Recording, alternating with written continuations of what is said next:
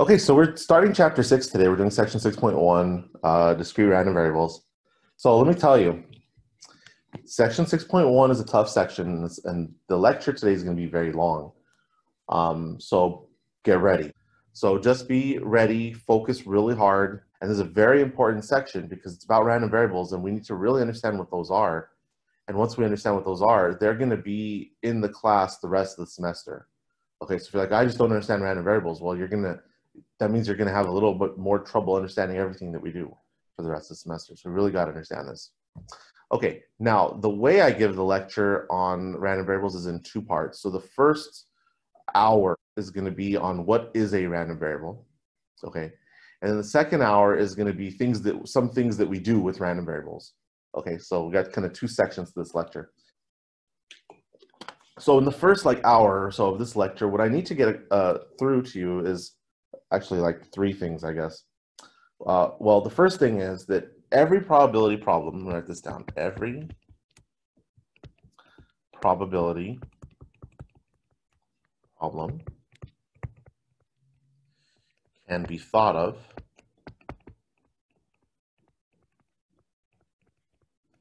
as drawing once from a bag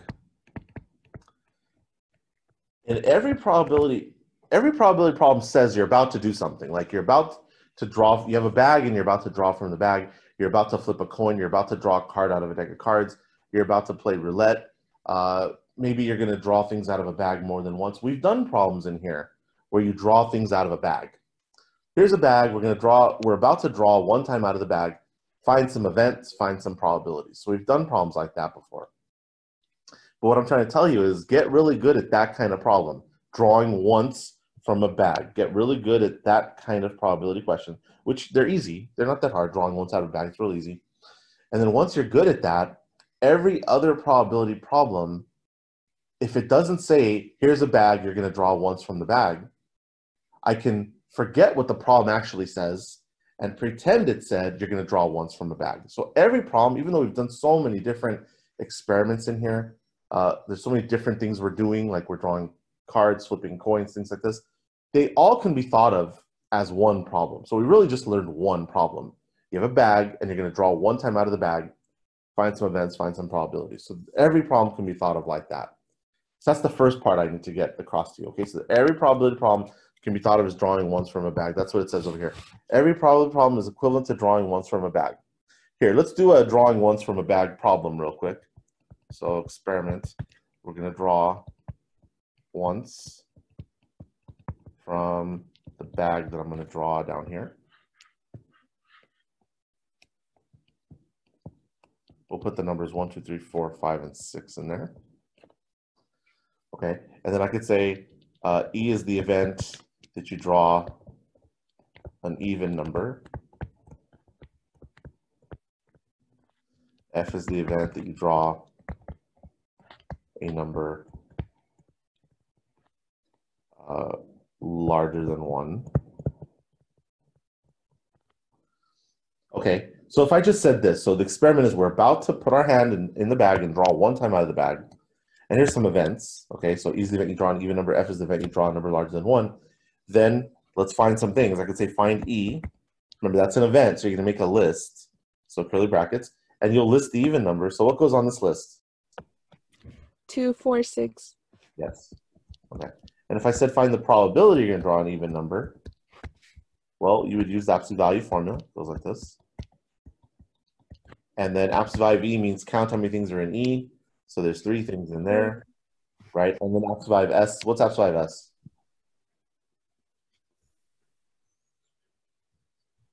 Remember One, S? Two, three. Oh wait, six. Yes. So S is one, two, three, four, five, six, but absolute value S is six. It's just absolute value S means count how many things are in here. Okay, so that's how you do a problem like that. Here, let's do another one. The point is, when the problem gives you a bag and says you're to draw one out of the bag, all the questions are really easy. Just because you can see the bag, you can see the contents of the bag, and we can do all these problems. Here, let's do F real quick. So let's find F. That's an event again. It says you draw a number larger than one. What goes in there? Two, three, four, five, six. Right. And if I ask you for probability of f, again, the formula goes like this. Absolute value of f over absolute value of s. All right, tell me the answer to that. 5 over 6. Yeah, you're all saying the answer. That's good. That means it's easy, right? Okay, five out of six. Awesome.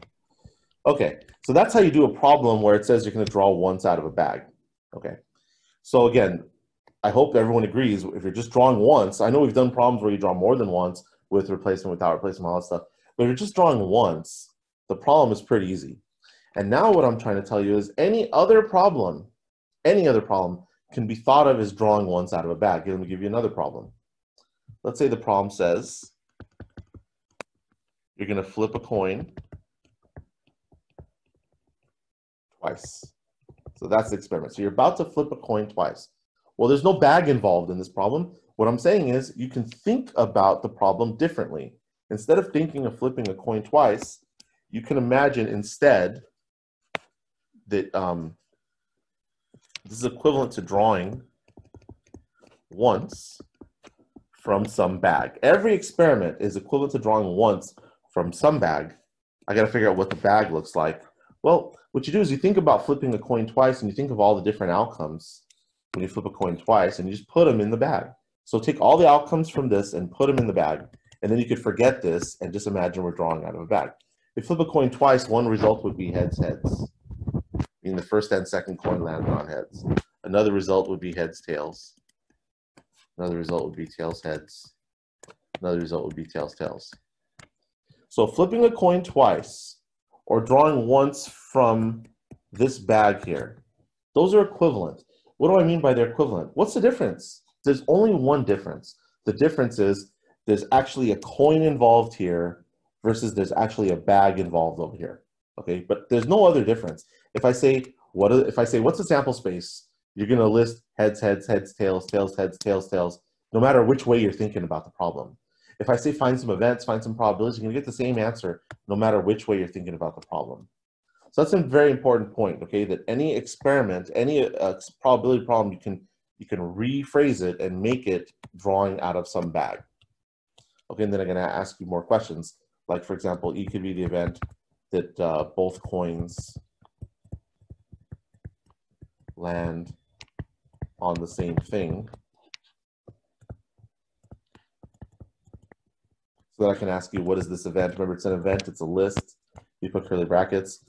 So both both coins land on same thing would be like heads, heads. They both landed on heads, uh, or would be tails, tails. And again, you could think of a coin if you want, or you could just look in this bag and go, hmm, well, that time it's the same thing, that time it's the same thing, kind of thing. And then again, we could find the probability of the event. And if you use the absolute value formula, it goes like this. Absolute value of E is how many things are in E, which is two. Absolute value of S is how many things are in S. You can look here and you see there's four. Okay, so let me say everything that I've said again. Every probability problem, they're going to say you're going to do some experiment. You're going to flip a coin once or more than once. You're going to draw a card out of a deck once or more than once. You're going to draw out of a bag once or more than once with replacement, without replacement. Or you're going to play roulette, or, you know, there's so many different uh, experiments you could do. But what I'm trying to tell you is they're all really the same experiment. They're all really drawing once out of a bag. Okay, so if you like bag problems, so like bag problems, and drawing only once, you don't even have to draw more than once. So if as long as you like that problem, drawing once out of a bag, get really good at that kind of problem, and then every other problem can be thought of as drawing once out of a bag. The only thing is you need to know what the contents of the bag are. So what goes in the bag? If they don't give you a bag and a problem, what is this bag that we're thinking about, right? The bag we're thinking about is, well, you just take whatever experiment they give you and take all the outcomes and put them in a bag. And now we can pretend we're just drawing out of that bag. Okay, you guys getting that idea? Yes. All right, cool. So that's the first thing that I need to convey to you. Now the next thing, so we're gonna talk about what a random variable is now. The thing is, a bag, drawing once out of a bag is fantastic, but there's one thing that I'm not gonna like. And the thing I don't like is I want the, the bag to have numbers in it, okay? Like the first, here, let me go back. The first example we did, the bag had numbers in it, fantastic. But the second bag over here does not have numbers in it. It has like, you know, letters, right? It has two letters. Each outcome is two letters, not numbers. I want the bag to only have numbers in it. Okay. Why do I want that to happen? Because we're going to um, be doing calculations involving the outcomes. We're going to do arithmetic involving the outcomes. Like if you look at the top one over here, if I say, okay, you draw the number two out of the bag, and then the next time you draw the number five, let's add, what do you get? You can add them, no problem, you get seven. But over here, if you say, well, the first time you draw out of the bag, you get heads, heads. Second time you draw out of the bag, you get tails, heads. Now add these. You're like, huh? That doesn't make sense because you add numbers. Okay, you don't add what's heads, heads plus tails, heads. It doesn't make sense. So what we want is we want the bag to have numbers. So every probability problem can be thought of as drawing one side of a bag. So every problem is, has been boiled down to one kind of problem now, drawing out of a bag. But I want to go one step further. I want the things that are in the bag to be numbers. If they're numbers, fantastic. What do you do if they're not numbers? The answer is you change the names. Okay, so right now, if you look at this bottom bag, the names of the outcomes are heads, heads, heads, tails, tails, heads, tails, tails. Those are just names. Okay, and the names are not numbers. So if the names are not numbers, what are you going to do? You're going to change the names. You change the names of the outcomes and make them numbers. And that's what a random variable is. It just changes the names of the outcomes and makes them numbers. Which outcomes do we need to change the names of? All of them. I need everything that's in the bag to be a number when I'm done. Okay, so if I look over here, um, here, let me give you a quick example. So back to this uh, flipping a coin four times thing. We could think of this as the original, so the sample space. This is the original bag that we're drawing out of. So heads, heads, heads, tails, tails, heads, tails, tails. What we're going to do is we're going to change the names and create a new bag. It's going to look just like the old bag, except the names are going to be different. Now, how do you change the names? Your job, okay? Like on the quiz, for example, you'll get a problem. We'll do an example in a couple minutes uh, where we practice this a lot. But besides this example, on the quiz, you'll get one question where I'm going to give you an experiment. I'm going to say make up a random variable. When I say make up a random variable, what I'm asking you is give me a way. You need to write a verbal description or just, I don't know, but you have to make it very clear. And when I read your answer, it has to explain to me how to take all of these outcomes and change them to numbers. Let me give you a quick example. I could say x, so we'll use x for the variable. x is going to be the, the, the number of h symbols in the outcome. In other words, what I'm saying is, what's the new name? The old name, like this outcome here, the old name is heads, heads. The new name, we're going to call this bag X. The new name is going to, this is explaining how to get the new name. It's saying just take the old name and count how many head symbols you have. We have two head symbols there. So the new name of that outcome is going to be two. So heads, heads got changed to the number two. It's just, I just changed the name. That's all I did. Okay. But this little description here will help me figure out how to change all the names. Let's go to this one. What's the new name for this one? For heads, tails? One. The new name is one. We used to call that outcome heads, tails. Now we're calling it one. Yeah. Okay, this one over here, same thing. This is telling me how to change the names. It's the number of head symbols. How many head symbols do you see? One. One. And for the last one, what's the new name for the last one? You kind of cut out, but I think you said it right. So zero, yeah. Yeah, take a look at the bags. What's the difference? There's four things in the bag. There's four things in the bag here. But the bag on the right has numbers in it, and that's what I want. Okay? It's like changing names. Like, let's say you wanted to go and change your name. You'd have to go, I don't know where you go exactly. You go like City Hall or something, whatever, and you fill out some papers, right? And then you'll change your name. And the thing is, when you change your name, uh, the old name that you had is there's still a record of it somewhere. So if I, I, I don't know where do you go to City Hall? I don't know. Let's say you go there. So you go to City Hall, and uh, if I had to look up what your old name was, it'll be there. Okay, so it's not like we forget the old name, but we're changing the names from from some names to some other names. But I want the new names to be numbers. Let me give you another example. Let's say um, right now you guys all have names, okay? And let's say the experiment is I'm to randomly select one of the students in this class. Well, if I randomly select a student in the class, the outcomes are names. It's your name, okay? But I don't want the outcome to be a name. I want it to be, I mean, I want the outcome to be a number. So I could say, okay, I want to, we're going to change all your names and I have to give you a way to do that. I could say, okay, everybody's name has been changed and now it's your age. So whatever your age is, that's your name now. Okay, so like if your name before was uh, Jack, let's say, okay, so your name was Jack and the per- Jack is 20 years old, now the person's name is 20. So that's the idea. And every single student has to have their name changed. And I say, okay, just use their age. Or you can use other things use your social security number, use your student ID number, use your PIN number, use your height, your weight, your uh, whatever, you know. But the point is, uh, like your zip code or something. But just I have to say, okay, here's a way to describe how to take every but every outcome and change the names and make them numbers. That's the idea. And we'll ultimately end up with a bag with numbers. And every probability problem can be thought of as drawing one time out of this bag of numbers. This is what we want to accomplish in this first part of the lecture, right? We want every probability problem to be equivalent to drawing a number from a bag and only once. So, so drawing once from a bag, and we want the num the things in the bag to be numbers. Okay, so we don't want them to be anything but numbers. We want the outcomes to be numbers.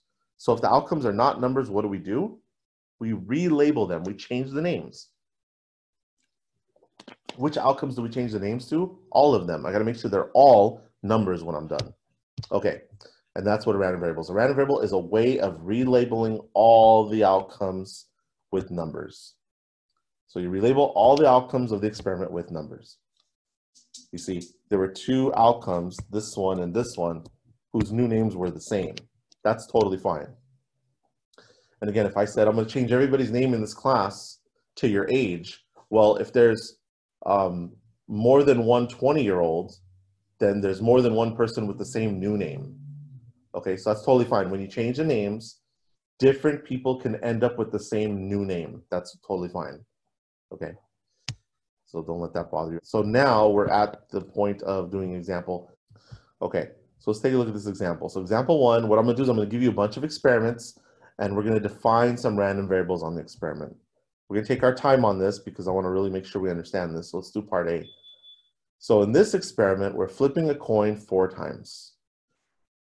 When I give you an experiment, the very first thing you should do is make sure you completely understand the experiment and understand what the outcomes look like. So the experiment is, in this example, flipping a coin four times. Somebody give me an outcome, any outcome of this experiment. Heads, heads, heads, heads. Okay, good. Heads, heads, heads, heads. So that's wonderful. That means you completely understand the experiment and you understand what the outcomes look like. A lot of times when I ask the question that I just asked, a student will say heads. If you just say heads and that's all you say, then do you understand that we're flipping four times? You see what I'm saying? You got to tell me after you flipped four times what the result was. You got to give me all four flips. If you just write heads, then it sounds like you think we're flipping once or you're just confused about something. So this is good. Okay, so heads, heads, heads is an outcome. Okay, uh, somebody give me another outcome of this experiment. Heads, heads, tails, tails. Okay, heads, heads, tails, tails. And anyway, there's lots of them. And what I need to do is I need to change all the names to numbers. The old names are, are what I call the outcomes, and the new names are going to be the value of your variable. That's what I call it, the value of the variable. That's just think of that as the new name. So I could change the name to anything I want. So I could say, I want to make this a nine. Why nine? You don't want nine? Pick another number. It doesn't matter. Change the name to anything you want. Change the name of this to anything you want. Like I can make it three. But I got to do this for all the outcomes. Okay, so I got to do a little bit better job here. But that's the idea. Okay, we have all, all these outcomes. There's actually 16 different outcomes for this experiment. I got to change all those names to 16 new names. That's the idea. All right. Now I'm going to show you, we're going to do a bunch of examples here. It says define some random variables on the following experiment. So I'm going to make up lots of variables on this experiment, but let me just say one more thing as far as the quiz goes. Even though I'm going to make up like five or so examples for each one, on a quiz, I only want you to give me one example. I'm going to say, okay, here's an experiment. Make up your own random variable on this experiment. Just give me one example. The reason why is because if you give me two, sometimes students will give me two different ones because they're not sure, you know, then, and one of them is right and one of them is wrong, then you're going to lose points because it tells me you don't completely get it yet. Okay. So long story short, if you give me a, a correct one and an incorrect one, I'm going to grade the incorrect one. Uh, but and you're going to be like, oh my god, he's mean. But no, I'm not. I mean, I, okay, maybe I am. But the point is that uh, you're showing me you don't completely understand it, so that's why you have to lose points. So long story short, just give me so understand it, and then just give me one example. Okay, but anyway, so here's the first example. So the first way I'm going to do is the way I don't suggest you do it, but this way definitely always works. The problem with this first way is it's kind of long. So what I'm to do is I'm to call, I'm to write x. It's a random variable. We usually use letters around x. So I'm to use x. And I'm to basically, this is a big curly bracket over here, okay? And what I'm to do is I'm to say, okay, I'm to basically list all the outcomes of this experiment of flipping a coin four times. And I'm to tell you what we're to change the name to. So if the outcome is heads, heads, heads, I'm going to change the name of this. I got to change the name to something. I'm going to change it to five. I can change it to any number I want. Make sure you understand what I wrote there.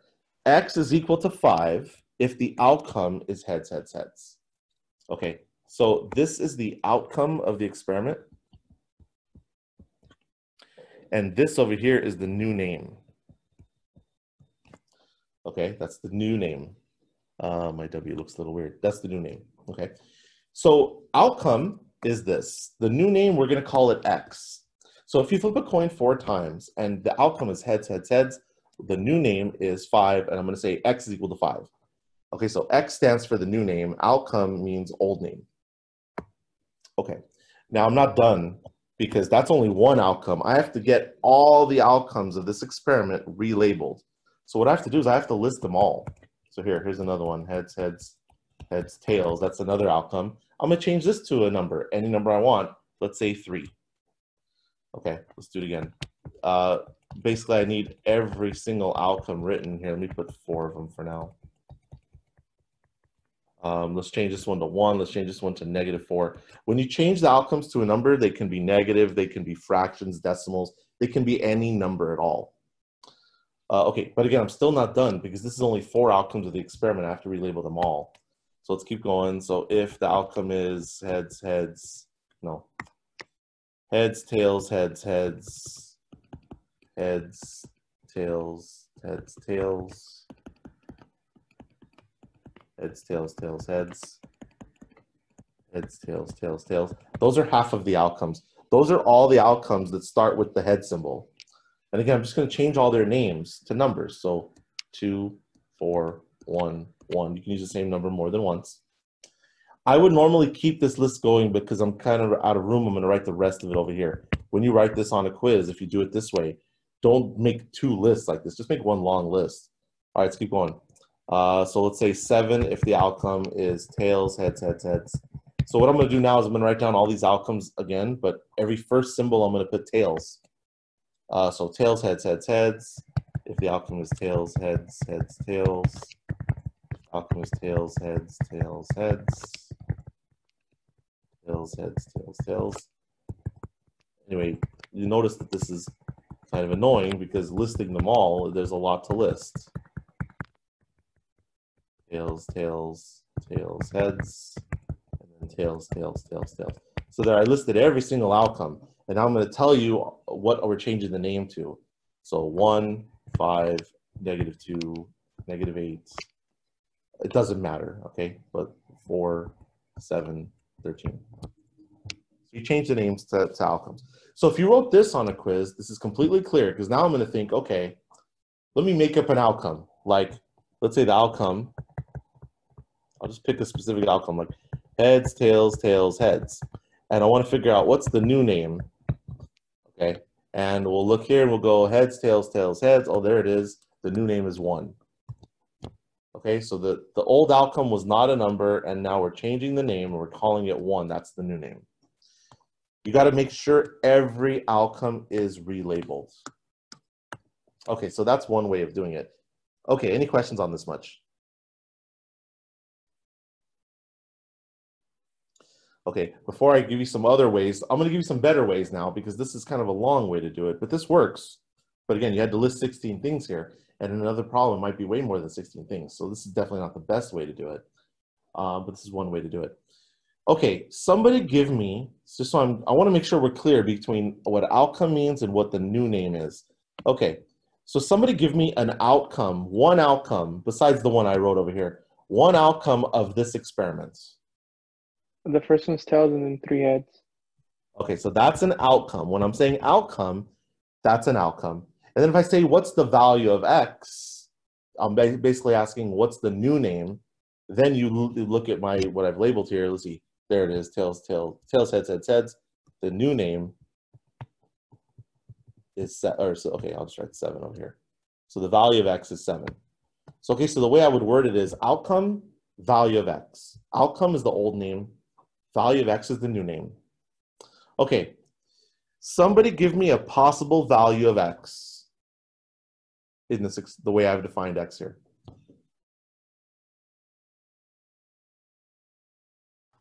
Three. Three. Okay. Uh, and is there any outcome where the, the value of x is three? Yes.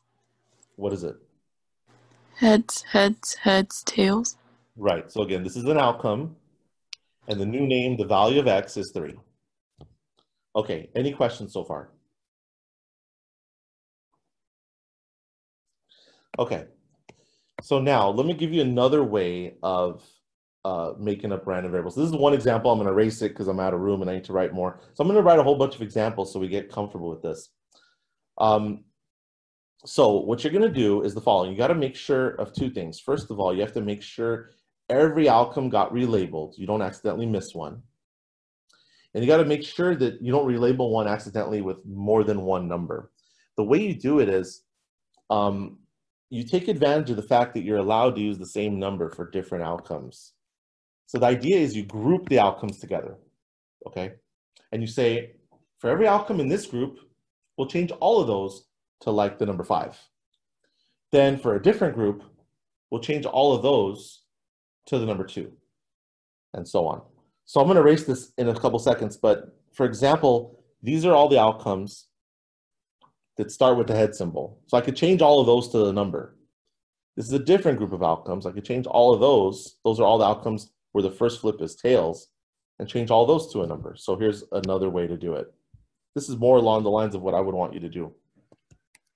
I'll call this y just to distinguish it from the x that we had before.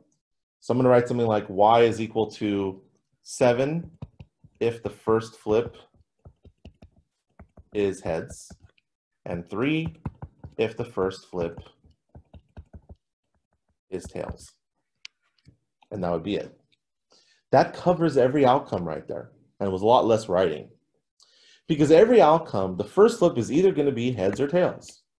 Okay? So basically, what we're saying in this example here is um, I know we're flipping the coin four times, but I'm just going to look at the first flip.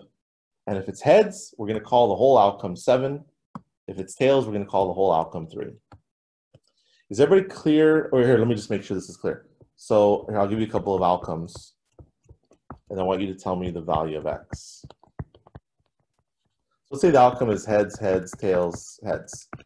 What's the value of x for that one?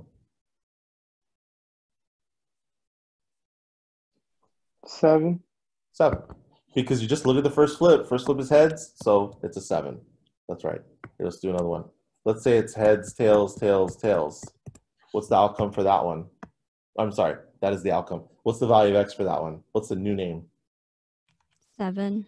Seven again. Again, the first flip is heads, so we're changing it to seven.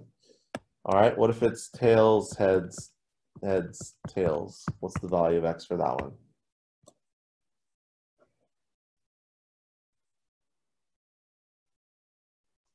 Does anyone know?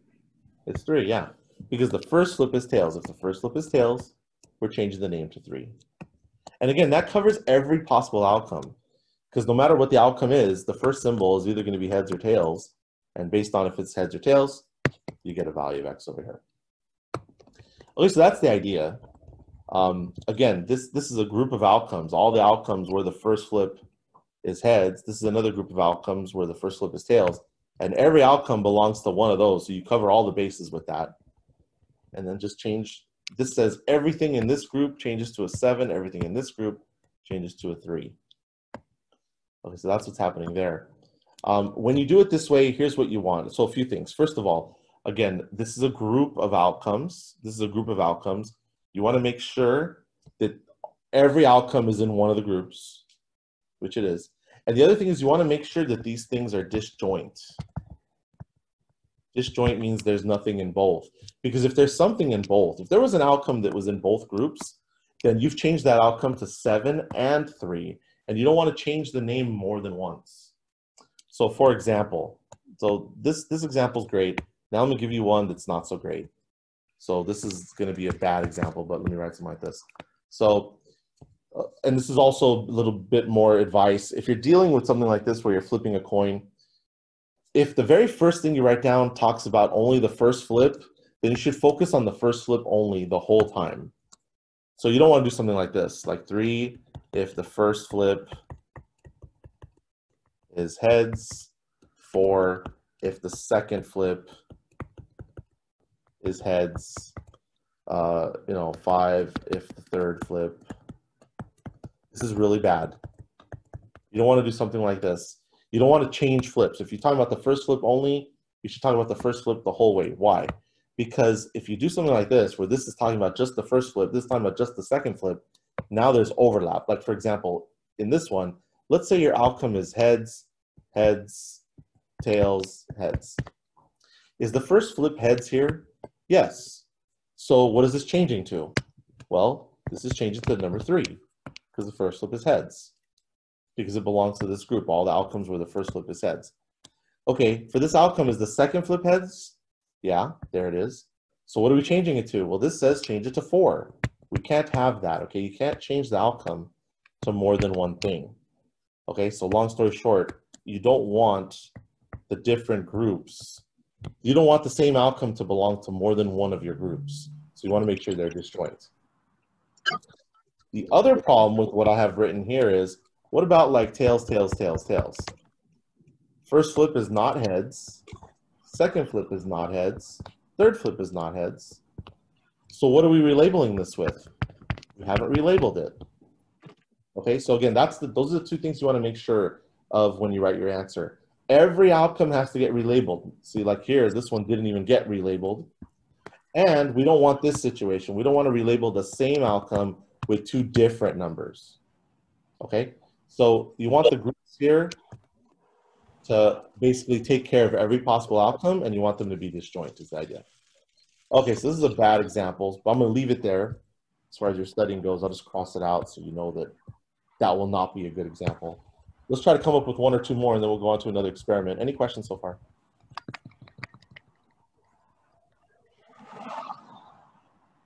All right, uh, let's do, um, I'm running out of letters. Let's, let's call this one W. So another thing you can do is you can say like, um, instead of focusing on just the first flip or the just, see how this is the first flip? You could focus on just the second flip instead. So you could have done something like W is, you know, five if the second flip is heads, and three if the second flip is tails. So you could just focus on the second flip the entire time. As long as if you're focusing on the second flip only, you focus on the second flip only the second time around. That's something else you could do. Um, let's do T. You could do something like this. You could look at the first and last flip. So like five, if the first and last flip are the same.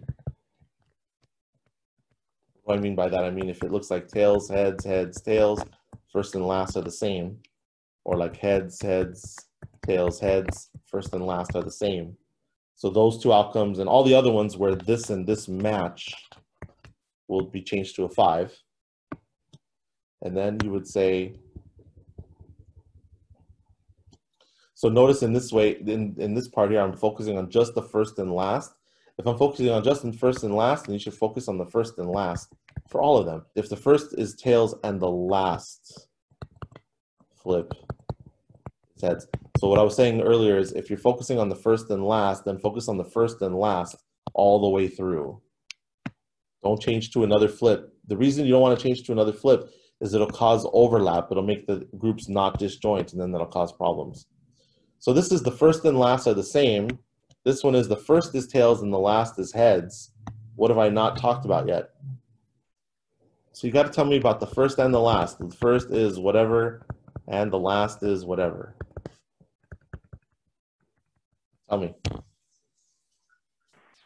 If the first is heads and the last is tails.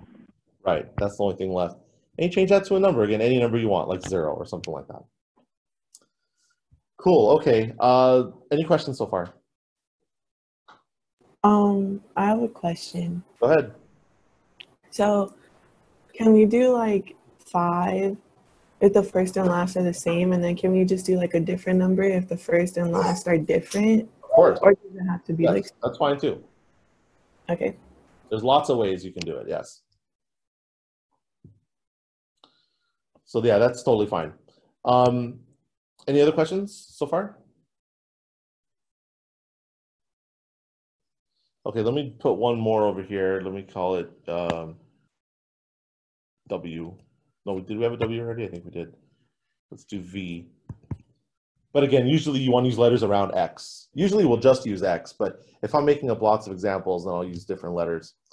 Um, okay, so the last one could be something like um what you might care about. Eventually, the random variable is going to be, okay, you flip the coin four times, but what do you care about?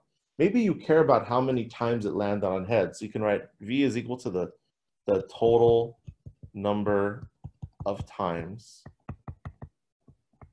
the coin landed on heads. Notice it's a verbal description here. But when I read your verbal description, I need a lot. What do I need? First of all, I need to make sure it's clear to you that you know what the experiment is. Okay, so we're flipping a coin four times. Because sometimes people will say, like, for this example, they'll say, like, one for heads and two for tails. And I'm like, well, heads is not an outcome, so it doesn't make sense what you're saying. Okay, but if you said one for heads, heads, heads, heads, now I know you get the, the experiment. We're flipping the coin four times. So that's the first thing, okay? And then I got to make sure that every outcome gets relabeled and no outcome gets relabeled more than once. And this takes care of every, just that much. You just write that much. That takes care of every flip. Like for example, for this one, um, let me write down a couple of outcomes so we make sure you understand what it says here.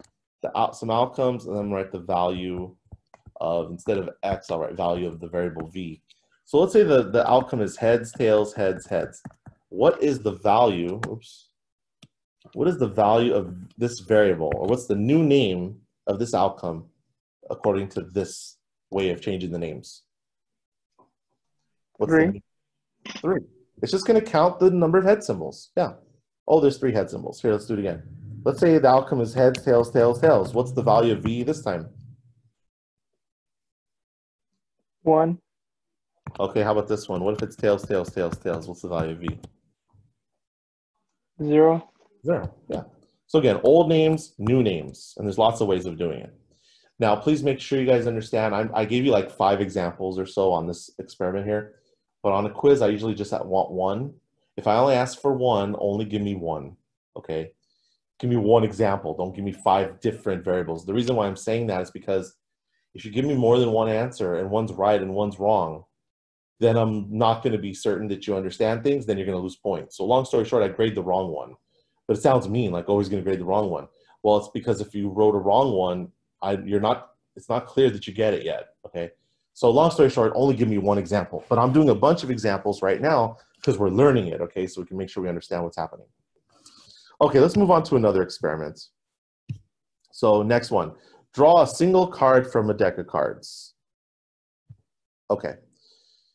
So again, you think about what the outcomes are and I want to change the names to numbers. Now, if you make a list, this would take forever. You'd have to list all 52 cards.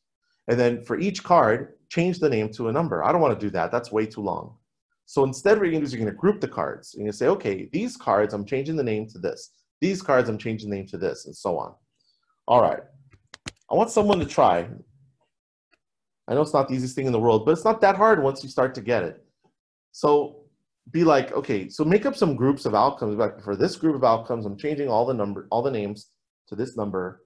For this group, I'm changing it to this number, and so on. Someone try it.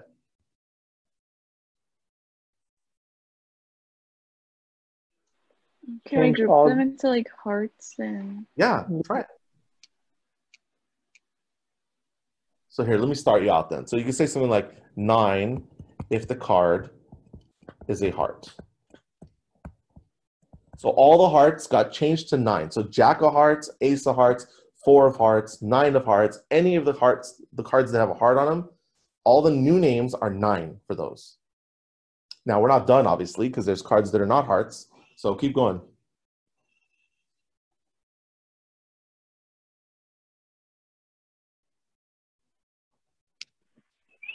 Five if the card is a club. Okay. So make sure you guys understand you have to keep going until you've covered all the cards. So what else? Seven if uh, the card is spades. Uh, so seventh card is a spade. And what's left? The diamonds. So just make up any number. Six if the card is a uh, club. I mean diamonds. Sorry. Right. Yeah. That takes care of everything because every card is one of those. So let's see here. So the Jack of Hearts. So so here outcome, and then value of X. I'm just going to write a couple of these. You don't have to write this on a quiz. This is just so I make sure we understand what's written here. Jack of Hearts. The new name is nine. How about um, Ace of Diamonds? That's D for diamonds. What does that change to? Six. Six. Six. Here, one more. What about the five of spades? What is that getting changed to? Seven. Seven. If it's a spade, we change it to seven. Yeah. And anyway, this is taking care of all the cards. You got to make sure that these groups that you mentioned here cover all the bases, and no card is in more than one.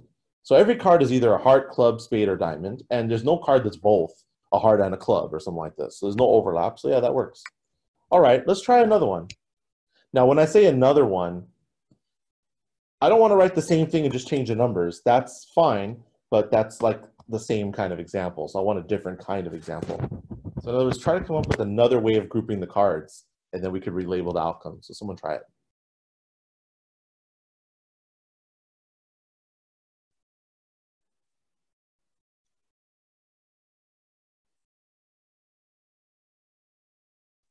Um, all face cards are equal to four.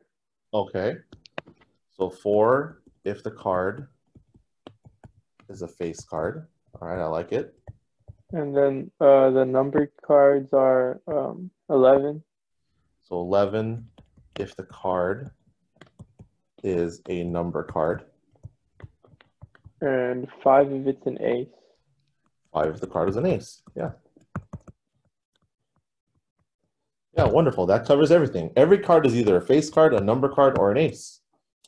Yeah, sounds good. I like it. Okay, questions on that one? Just to make sure we're clear on what this says. I'm calling this y here, value of y. Okay, so if you draw the um, nine of diamonds, what are we changing it to? Eleven.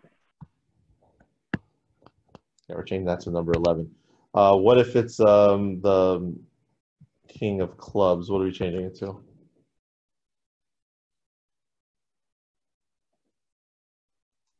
Four. Yeah, king is a face card, so it's got a face on it. So yeah, so face card, we're changing it to four. Yeah, and every card. This is again, you don't write any of this thing, kind of thing on the quiz. This is just so we get comfortable understanding what this is trying to communicate here. All right, let's do more examples. Uh, somebody come up with a different example. Same experiment. We're drawing a card out of a deck. We got to relabel the names with numbers. Let me call it Z. Here, I'll give you one. So understand that random variables is something you actually do all the time. I shouldn't say all the time, but you do it often. Okay. Now, so for those of you who have played blackjack in your lives, um, maybe some of you haven't played that game, which is fine. But if you have played it, you've been doing this all the time. Like when you see a king of clubs in blackjack, you don't think king of clubs. What do you think when you see a king of clubs? Um, I'm sorry, say that again. I didn't hear you. Ten? 10. Yeah, you think it's a 10. because king of clubs is worth 10. So automatically when you see king of clubs, your brain transfers that information and thinks 10. So you're automatically relabeling it and think of it as a 10. So it's not a 10, it's a king of clubs. If it's a king of hearts, king of diamonds, jack of hearts, queen of spades, you always think 10. So you're automatically relabeling it with a 10. That's what a random variable does. It changes the name. Uh, when you see a two of hearts, a two of hearts is not a number because there's hearts. But when you see a two of hearts in blackjack, you don't you ignore the suit completely and you just think of it as a two. Okay, so this we have to relabel with a two. Okay, so the way you would do it, this, this is what I'm, I'm calling this one the blackjack random variable. This is when you're playing blackjack and you see a card, what do you think of? So you think of a 10 if the card is a face card. So any face card is worth 10. Uh, it's going to be the number on the card if the card is a number card. So in other words, nine of diamonds, we're going to think of it as the number that's on the card. So think of it as a nine. Okay. And then what have I left off? So we got face cards and numbers, so we're going to write the aces. So just kind of like the last one, if the card is an ace. Now, in the game of blackjack, an ace is worth 1 or 11, but we can't have that in a random variable. We have to change the name to one of them. So you just pick one. So I'll just say like 11 if the card is an ace. Okay. Or you could just say 1. That's the blackjack random variable. Okay. Uh, any questions? Before we move on to the next one, let me just show you real quickly another example. So I didn't write this one down, but let's say the experiment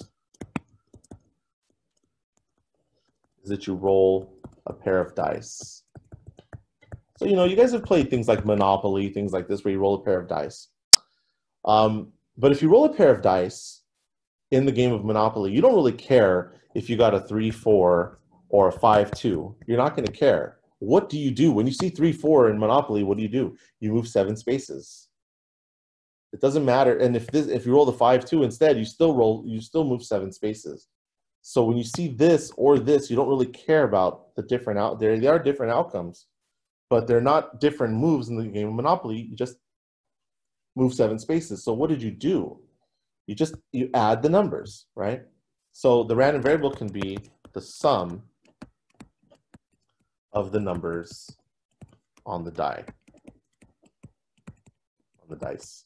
So just some quick, uh, so this is an example that I'm giving you so you can understand that you've done this your whole life. Okay, you always do this. You you look at the outcome five four when you're rolling a pair of dice, and you think to yourself, move nine spaces.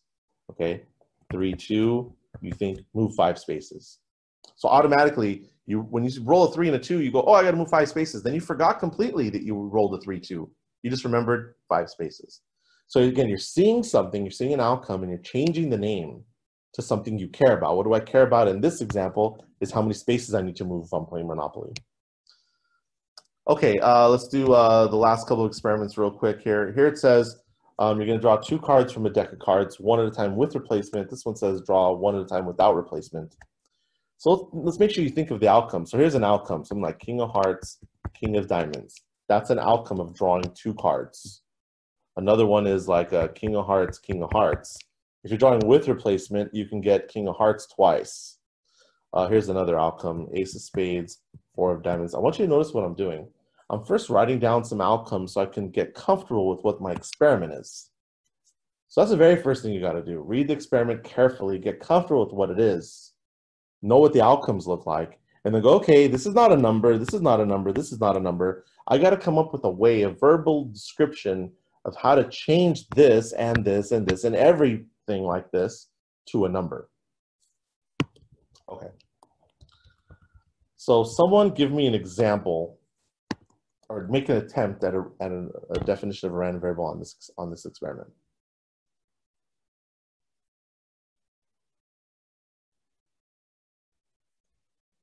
So again, the outcomes are like pairs of cards instead of one. If the cards are the same. Say it again. Three if the cards are the same.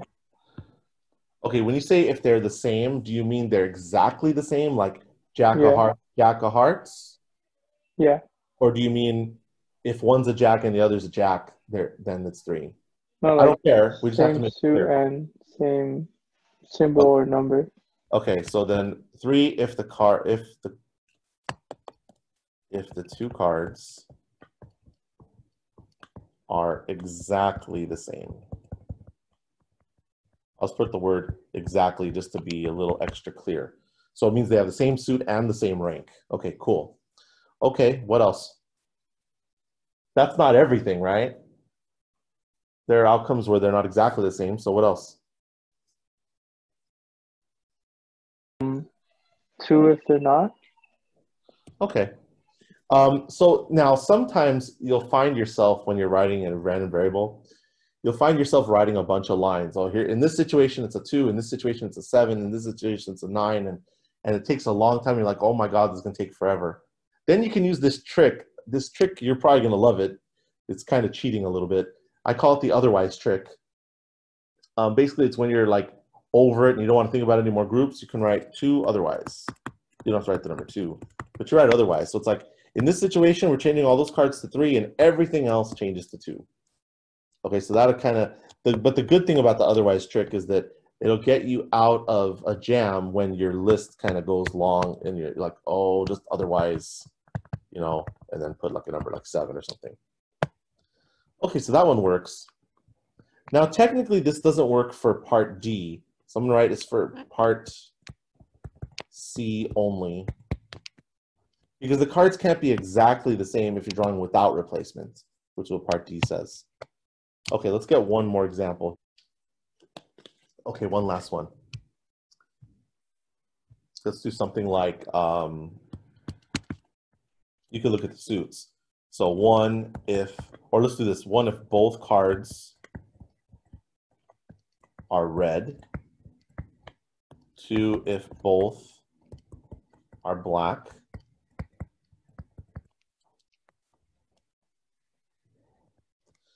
Um, and then you could do like if the first card is red and the second card is black, or, or if the third, if the first card is black and the second card is red, or you can combine those into one and say like you know five if the cards are different color, meaning one is red and the other is black. Okay, so you just you group them together, but you have to make sure that these groups cover every pair of cards because we're talking about pairs of cards here. Okay, and no overlap. And there can't be any overlap because they can't both be red and both be black. They can't both be red and have different colors, you know, that kind of thing. All right, so that's what random variable is. Okay, so let me just recap this part of the lecture and then we'll go to the next part. So every experiment, no matter how simple or complicated, can be just thought of as drawing one time out of a bag. You just put the outcomes of your experiment in the bag. And then the next thing is we can even make the outcomes numbers. And the way you make the outcomes numbers is you relabel the names, you change the names to numbers. Okay, and that's what a random variable is. A random variable is a way of taking all the outcomes of the experiment and changing all the names to numbers. All right, let's move on. So now we're going to learn some things about the random variables. Okay, so probability distribution of random variables. Every random variable has a probability distribution. A probability distribution basically tells you the probability of drawing the number out of the bag. So remember, so at this point, when you think of random variable, you should think of bag width numbers. So let's, here's a bag width numbers.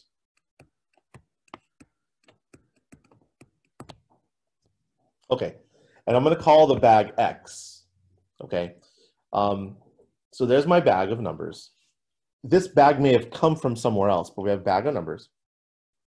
A probability distribution is gonna be a table for us today, and it's gonna be a two column table. So the point is, after the first part of the lecture, once you understood the first part of the lecture, every probability problem is now drawing once out of a bag of numbers. So we got a bag of numbers. When I say random variable, think we're drawing once out of this bag of numbers. And the probability distribution tells me two things. It's going to be a two column table. The left column, you're going to put a little x here. And over here, you're going to write down all the different things that can be drawn out of the bag. So in this picture here, you would put one, two, three, four. Don't, even if it's there more than once, do not list it more than once. You have to list all the different things that could be drawn out of the bag. Goes on the left there. Okay, so we see ones, twos, threes, and fours can come out of this bag. Okay, And then the right side of the table, if you're like, but wait, there's a lot of twos, not so many threes. How do I communicate that? You're going to communicate that on the right side of the table. And the notation is probability capital X equals little x. We'll talk more about this notation in a minute. And these numbers are going to be the probability of drawing that number out of the bag. The probability of drawing the number one out of the bag, well, you look at the bag, there's two ones out of how many things total? Eight. Remember, num bottom number is always how many things are in the bag total, so eight. And top is how many ones you have, two out of eight. And you would do this for every number that can be pulled out of the bag. So the probability of drawing number two, three out of eight, because there's three twos uh, out of eight total. Probably drawing the number three, one out of eight. Probably drawing number four, two out of eight. That's a probability distribution. A probability distribution for a random variable is a table. The left side tells you what numbers are in the bag, and the right side says what's the probability of getting those numbers. So what this says is there's a two out of eight probability of drawing the number one. There's a one out of eight probability of drawing the number three, and so on. Every random variable has a probability distribution. It's going to be, it tells you the probability let's, let's see what it says. The probability distribution tells you the probability for each value of the random variable. It's going to be a table or a histogram, but I'm always going to have you make a table, but I think I might draw one or two histograms today. We'll see. Now, to calculate the probability distribution for a more complicated problem, you got to go back to the sample space. So the problem I just gave you right now that I just erased, I drew the bag of numbers, but sometimes you're not going to want to draw the bag of numbers in which case you want to go back to the sample space. So think of it as um, the sample space is like the old bag before we change the names, and then your random variable is like the new bag after we change the names.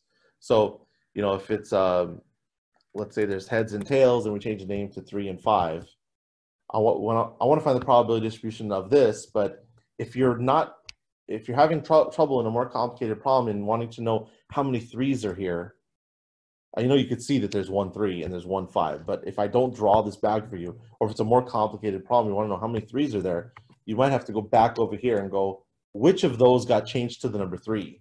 Which of those got changed to number five? So the way I'm going to say that is to calculate the probabilities, you want to go back to the sample space. Go back to the original outcomes before we change the names. Okay. Uh, I'll say a couple more things here and then we'll do some examples. There's two requirements for a probability distribution for a discrete random variable. Remember, probability distribution is a table. There's two requirements on it. Remember, it's going to be, um, there's going to be a little x on the left. There's going to be a probability capital X equals little x on the right. There's no requirements for this part of the table because these are the name, the new names of the outcomes. The new names are allowed to be anything. So there's no conditions on these. These can be anything. But these numbers over here are probabilities. So there are some requirements because probabilities can't just be anything. So the two requirements are, the first one is all the numbers here, okay, so on this side, this part of the table, since they're probabilities, they all have to be between zero and one because we know probabilities are always between zero and one. And the second thing is if you add all the numbers on this side, so if you add all these up, you have to get one. You have to get 100% because, in other words, these outcomes have to cover all the bases. So there's 100% chance you get one of those numbers out of the bag. So again, there's two requirements on this side of the table. Okay, first one is uh, all the probabilities between 0 and 1, this is how we write it. Probability capital X equals little x. Between 0 and 1, this is how you write that. When you put a 0 here, a 1 here, and you put less than or equal to's, that means this thing is between them. So that just says all the probabilities on the right side of the table are between 0 and 1. And the second requirement is if you add them, this symbol, we've seen it before, it means add. If you add all the probabilities on the right side of the table, you get one. Okay, so just a couple of requirements on the right side of the table. All right, so now let's do a couple of examples here. Uh, okay, example two, let me make it smaller. Okay, we're gonna roll a pair of dice. The random variable is the total of the numbers on the dice. Part A says find the probability distribution and uh, verify that it satisfies the requirements. So now the reason why this is harder is because now I'm giving you the experiment and I'm giving you the random variable. I'm not saying you make up your own, I'm making it up. And you have to pay attention to what it says and make sure you understand what it says, and then we can go and do this problem. So let's be very clear on what the experiment is. So read that carefully in every one of these problems. Make sure you're completely clear what the experiment is.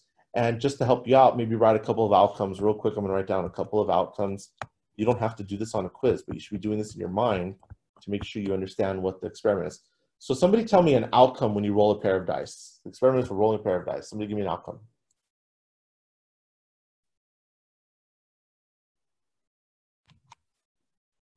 Anyone? Four. No, that's not an outcome. We're rolling a pair of dice. Eight. That's not an outcome. Give me an outcome when you roll a pair of dice. It would be like two and four two, four. I heard two, four. The other one I couldn't quite hear. What was the other one? three, two. Three, two. Give me one more outcome. Someone? One six. One, six. And let me give you another one. Four, four. There's lots of them. And then, okay, so so see what I'm saying? All you people who said four, someone said four, someone said eight, you're not completely getting it yet, but you're almost there, okay? What you're giving me is not an outcome.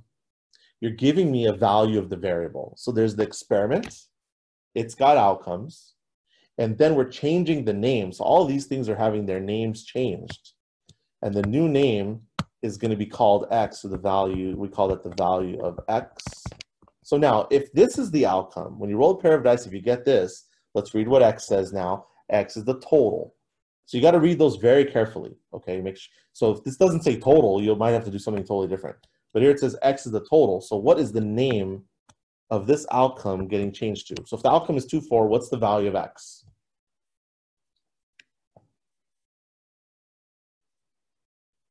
Anyone? Six. Six, right. If the outcome is 3, 2, if you're rolling a pair of dice and you, the outcome is 3, 2, what's the value of x?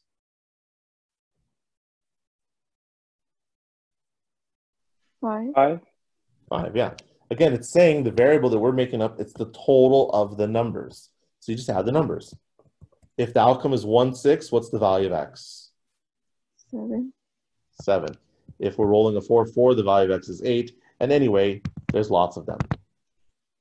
So again, I don't need to see any of this, but you should be doing this at least in your mind to make sure you're completely clear. So be completely clear what the experiment is and what outcomes look like.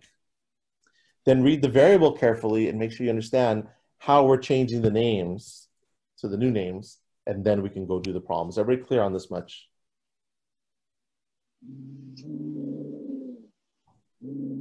I can't stress it enough. Be super clear on every part of it. So you got to read the question, obviously, really carefully, make sure you're completely clear, and then, then it should be okay. Now let's go ahead and do part A. Part A says find the probability distribution for X. All right, so here, part A. So we're going to make a table, two column table.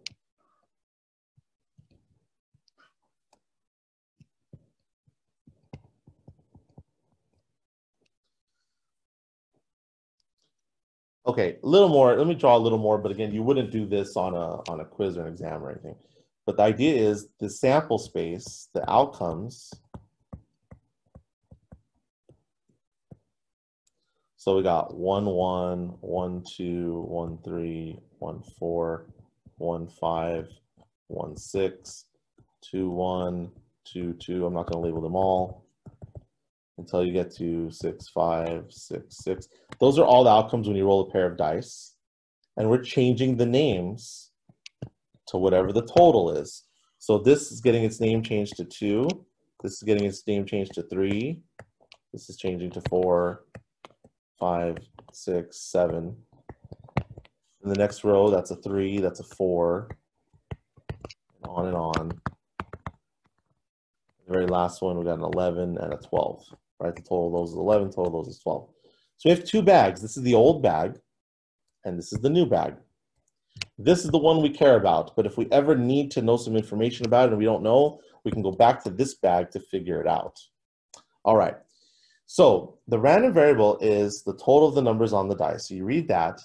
All the different possible values of your variable go here. So you have to ask yourself, if you roll a pair of dice, what are all the different totals you can get? Someone tell me what totals you can get. What's the smallest total you can get? Two. Two. What's the next smallest total? Three. Three. And all the different totals. Don't write the same total more than once. Even though in this bag, the three is there more than once, don't write it more than once. Write it once only. Once for all of them. Then there's four. You can get a total of four. You can get a total of five. And all the different totals you can get, you list them all. It's basically you listing all the numbers in this bag, but don't list the same number more than once. So let's see, let's keep going. Six, seven, eight, nine, ten. When do I stop? At 12. You stop at 12. That's right. Because 12 is the biggest total you can get. That's when you roll six, six, right? That's the only one. Okay, so we have that. Now we got to find the probabilities of each of these. Okay, so to find the probability, you, you have to go back to the sample space. So if I say, what's the probability of rolling a two? You might say, this is wrong, okay? So don't do this. Here, let me get this table going first. You might say the probability of rolling a two,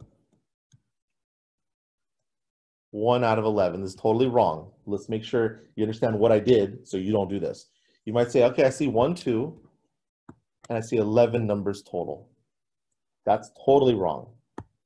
This is the deal. You have, it's this bag here, okay? How many twos are in the bag and how many numbers are in there total? There's only one two in the bag, but how many numbers are in there total? The answer is 36. If you're unclear, you go back to the sample space and go, well, when you roll a pair of dice, how many outcomes are there? There's 36. Okay, so you don't count the different numbers here.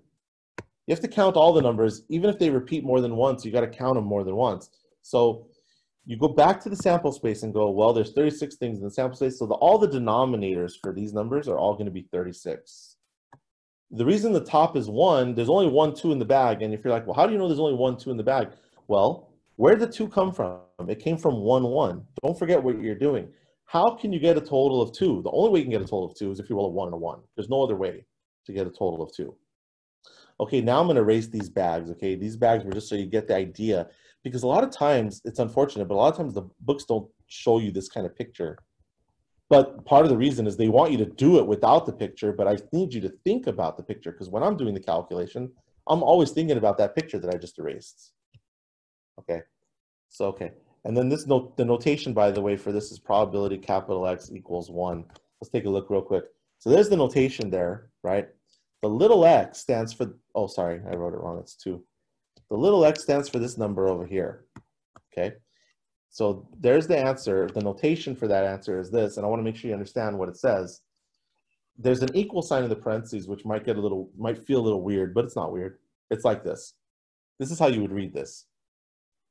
If you roll a pair of dice, the probability that the total, remember x is the total, is 2. Find the probability the total is 2.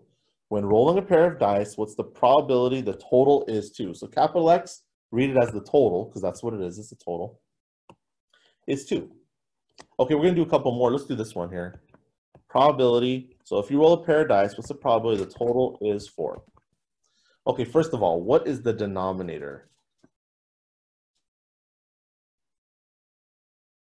36. 36. It's going to be 36 for all of them. Again, if you get confused, you go back to the sample space, you go back to the experiment, the rolling a pair of dice experiment, and go, how many outcomes are there when you roll a pair of dice? There's 36 outcomes. So you put 36 on the bottom. Now to get the top, you have to go, how many of those got their name changed to 4? Or another way to say it is, how many of those have a total, because the name, we're changing the name to the total, of 4. Here's one way to get a total of 4. Are there any other ways? 3 Two and 1. two. 3, 1, and 2, 2. And that's it. So there's three ways to get a total of 4. So that probability is 3 out of 36. Okay, so you see, so that's how that goes. You got to go back to the sample space and go, how can you get a total of 4? How can you get this to be 4? And here are the outcomes that give you a total of 4. Here, let's do another one. Let's do probability uh, that the total is 7. Okay, so again, what is uh, the denominator?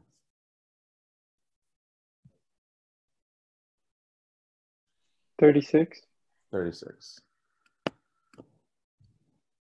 Okay, to get the top, you have to ask yourself, how can I get a total of 7? I'm wondering, in the new bag, how many 7s are in there?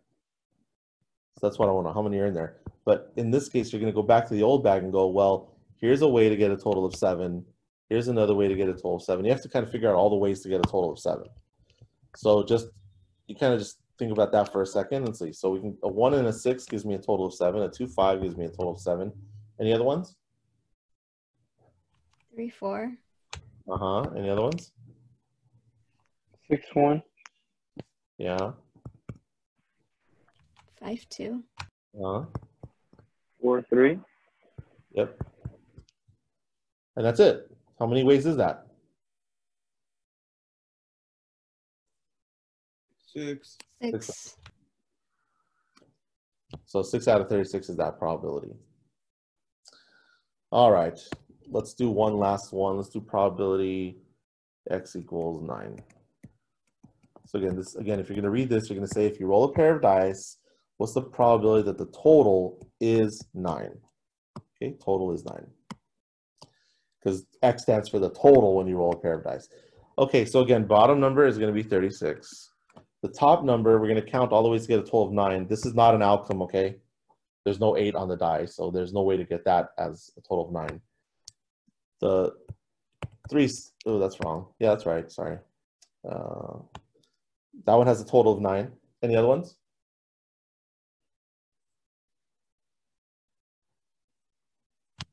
Four, five. Wait. Uh huh. Four, five. Yeah. What else?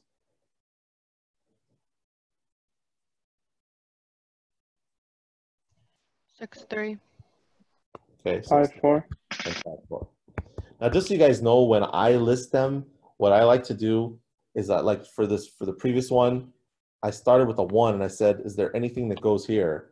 And then I increased it from a one to a two, then to a three, and then to a four to make sure I got them all. So that's why I'm writing it in this order. It doesn't matter what order you write them in, but you got to make sure you get them all. So it's kind of nice to do it in kind of a, an orderly way so you make sure you get them all. So are there any ways to get a total of nine where the starting number is a one? No. Is there any way where the starting number is a two? No, because there's no seven. Starting number three, yes. Starting number four, starting number five, starting number six, kind of thing. And that kind of gives me all of them. So there's four ways of getting a total of nine. So that probability is four out of nine. All right, now you're supposed to calculate them all. I'm not going to calculate them all as long as you've got, if, as long as you understood those four. I'll just write down the rest of the answers and you can calculate them after class and make sure that you understand how to do them. Is everybody with me on this much? Yeah. All right. So we go ahead and write down the rest of the answers. Again, I'm not all the answers I'm going to write now in red. I didn't show you how to find the answers. I mean, sorry, I didn't calculate them for you. I did show you how to find it. Turns out there's a pattern. Uh, not all the time, but for this problem, there's a pattern. One out of six, two out of six, three. Then it goes up to four out of 36. Then it's five out of 36. Then it's six out of 36. So kind of the number on top keeps going up. But then after it gets to six out of 36, it starts going back down. So it's 5 out of 36, 4 out of 36, 3 out of 36, 2 out of 36, and 1 out of 36.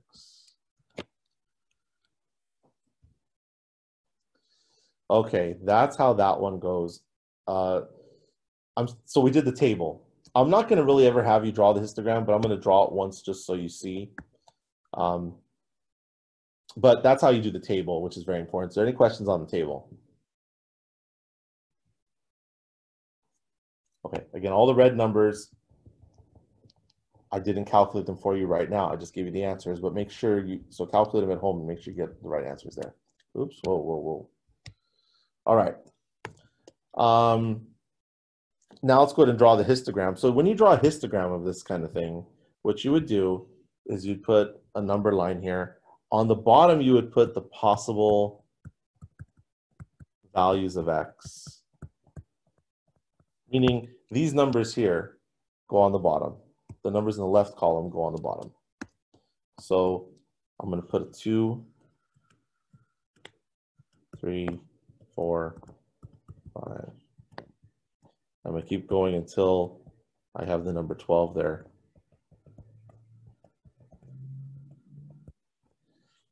I'm going to draw another number line this way, and we'll put the probabilities on this number line, meaning these numbers are going to go on the that number line there. So we have a 1 out of 36, a 2 out of 36, 3, 4, 5, and 6. The probabilities don't get higher than that. All the histogram is is really a picture of the table that I just made. Okay, and then what you're gonna do is above each number on the bottom, you're gonna draw a rectangle. And the height of the rectangle is gonna be whatever the probability is. So for the number two, the probability is one out of 36. So above the number two, I'm gonna draw a rectangle or like a bar graph. It's like a bar graph. Histogram is the same thing as a bar graph, except histograms, they call it a histogram if there's numbers down here. If it isn't numbers down there, they call it a bar graph. You just draw a rectangle above each number. How high do you go? Whatever the probability is. So what I do is I go from a little bit on the left of 2 and I go up to 1 out of 36. A little bit on the right of 2, go up to 1 out of 36. And I draw a rectangle like that. Okay, so that it's, that it's height, I'll shade it. You don't have to shade it. Height is 1 out of 36 there. I'll put this little dot, these dots to just indicate that I meant the height to be 1 out of 36. Then above the number 3, I'm going to draw a rectangle. How high? 2 out of 36. So from this line here, we're going to go up to 2 out of 36. And then on this side of 3, I'm doing it so that the rectangle has the number 3 right in the middle of it. On the bottom, but in the middle. That height is intended to be 2 out of 36. And you just keep going for the next one. For above the number 4, I'm going to draw a rectangle with height 3 out of 36. These dotted lines you don't need to draw. I'm drawing them so that it's clear to you that what height I intended to draw the rectangle at. Above the 5, I'm going to draw a rectangle height 4 out of 36.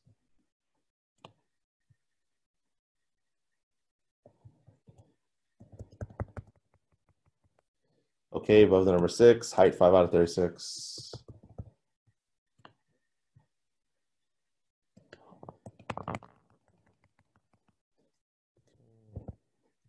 Keep going. Above the number 7, height is 6 out of 36. And after that, it goes back down, right? Above 8, we go 5 out of 36. So this same height over here. Again, it's just a picture of the table. Next one, the height should be 4 out of 36. And then next one should be 3 out of 36. And then the next one should be 2 out of 36. And the next one should be 1 out of 36.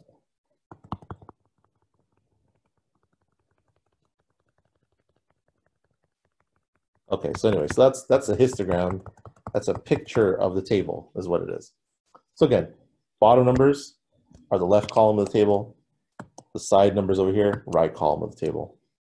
And from a picture, you know, you can uh, you can answer questions. Like if I say, when you roll a pair of dice, which total has the highest chance of coming up? What's the highest? What's the high, total that has the highest chance of coming up? Can you tell me? Seven. Yeah, because it's got the highest rectangle. It's got the highest chance. So when you roll a pair of dice, seven is the number that comes up the most. When you roll a pair of dice, what's the number that comes up the least? Or what's the total that comes up the least? Twelve and two. Right.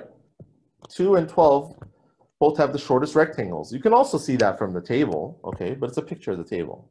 All right, so that's how you draw the histogram. And now I'm really done with part A. Any questions on part A? Okay, let's go to part B. Part B says verify your answer to part A satisfies the two requirements of a probability distribution. What are the two requirements? First one is both requirements are on these probabilities. I'm not really going to write anything down. We'll just look at them and make sure that they satisfy the requirements. Because you get online homework problems where they just give you the table and they say, do they satisfy the requirements? So what are you supposed to do? You first have to make sure that all the probabilities, all the numbers that are, oops, that are on this side of the table, you have to make sure they're all between zero and one. Okay, so they all got to be between zero and one, and they are because, okay, here's a number line. Here's zero and one. I want all the probabilities to be between here and here. If they're not there, then they would either be here or they would be here. If they're here, then they'd be negative. But you look at the answers, none of these are negative, so that's good, so they're not here. And these numbers here are bigger than one. And if you look at these fractions, a fraction can only be bigger than one if the top number is bigger than the bottom. But if you look at them all, the bottom is 36, and all the top numbers are less than 36, so none of them are here. Therefore, they're all here. Okay, so again, as long as none of them are negative, and as long as the top number is smaller than the bottom number, then all the numbers are between zero and one. So that's the first part. And the second part you have to check is that if you add them up, if you add all these numbers, you have to get exactly one. Let's go ahead and add them real quick. If you do one out of 36 plus two out of 36, the denominators are the same. That's the denominator of the answer, and you just add the tops. So you get three out of 36 when you add those. Then add to this, you get six out of 36, then add 10 out of 36, 15, 21, 26, 30, 33, 35, 36 out of 36 when you add them. But that's one. So the sum is one. So that works. So again, I didn't really write much down. You just do that in your head, okay? So just make sure all these are between zero and one, the right numbers, the numbers on the right side of the table, and make sure that if you add them all, you get exactly one, which we did, so it satisfies the requirements. All right, any questions on example two? All right, let's move on. Another example. This is part of an old quiz question. Um, so you can get an idea of the level of difficulty of the quiz question that you'll get next class. But again, this is this would only be like half of that question. Let's see what it says here. Experiment. Draw a single card from a deck of cards. So that's what we're doing. We're drawing a single card from a deck of cards. But then we're making a bet. It says, suppose you make a bet with your friend. You're betting on what card you get. And you're going to win $10 if you draw the ace of spades. You're going to win $5 if you draw any other ace. You're going to win $2 if you draw any other spade. And you're going to lose a dollar if you draw anything else.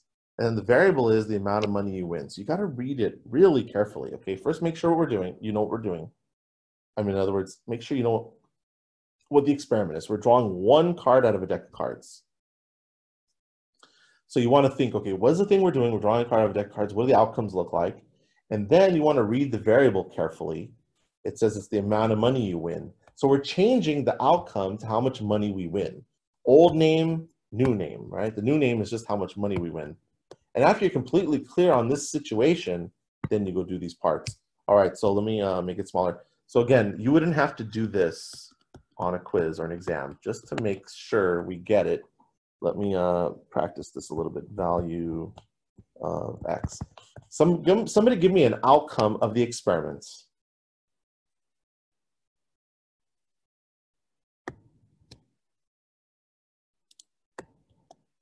An ace of spades. Ace of spades. Yeah. We're, remember, the experiment is we're drawing a single card of a deck of cards. So just give me a single card, like ace of spades. Uh, okay. And if you were to draw the ace of spades, what's the value of x? Let's read x again. X is how much money you win. How much money are you going to win if you draw the ace of spades? It's communicated up there. What's the answer? Ten dollars.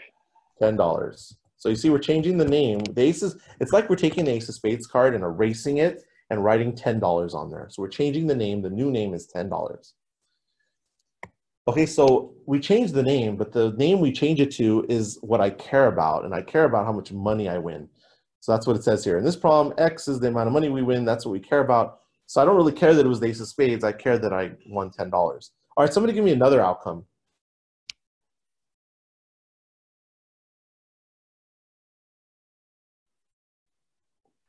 Five of spades. Okay, five of spades.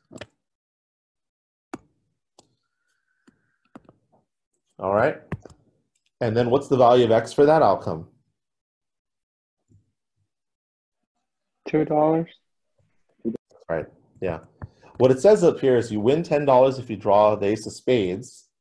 If you draw any other ace, you're going to win five. If you draw any other spade, when it says other spade besides the ace of spades, so any other spade, you win $2. So five of spades gives you $2. Also three of spades, you'd also win $2.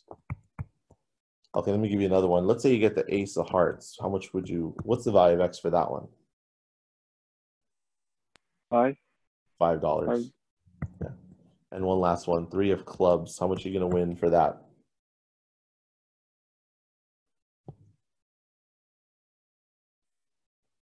One dollar. You're actually gonna lose. So because you're gonna lose, you put a negative in the front. Okay. If X is the amount of money you win, and it says you're gonna lose, put a negative. Okay, so we got that.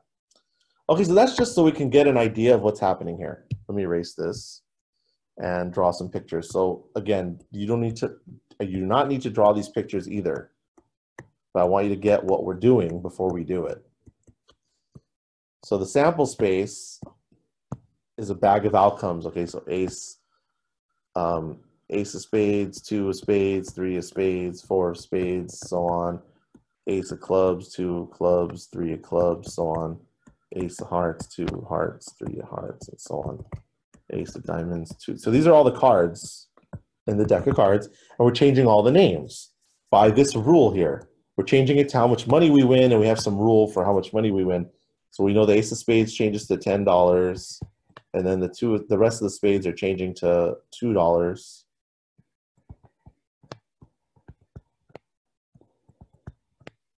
There's lots of twos in here.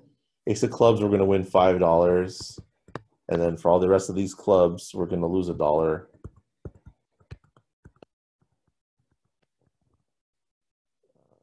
a dollar. Um, Ace of Hearts, we're going to win five dollars. The rest of the time, we're going to lose a dollar.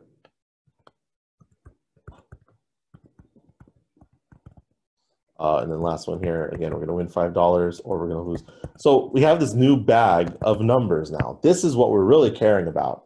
But how many things are in the new bag? The same as the amount of things in the old bag. The old bag has 52 cards in there. The new bag also has 52 things in there. Just the new bag has some of them repeating more than once. So there isn't 52 different things in the new bag, but there is 52 different things in the old bag. Okay.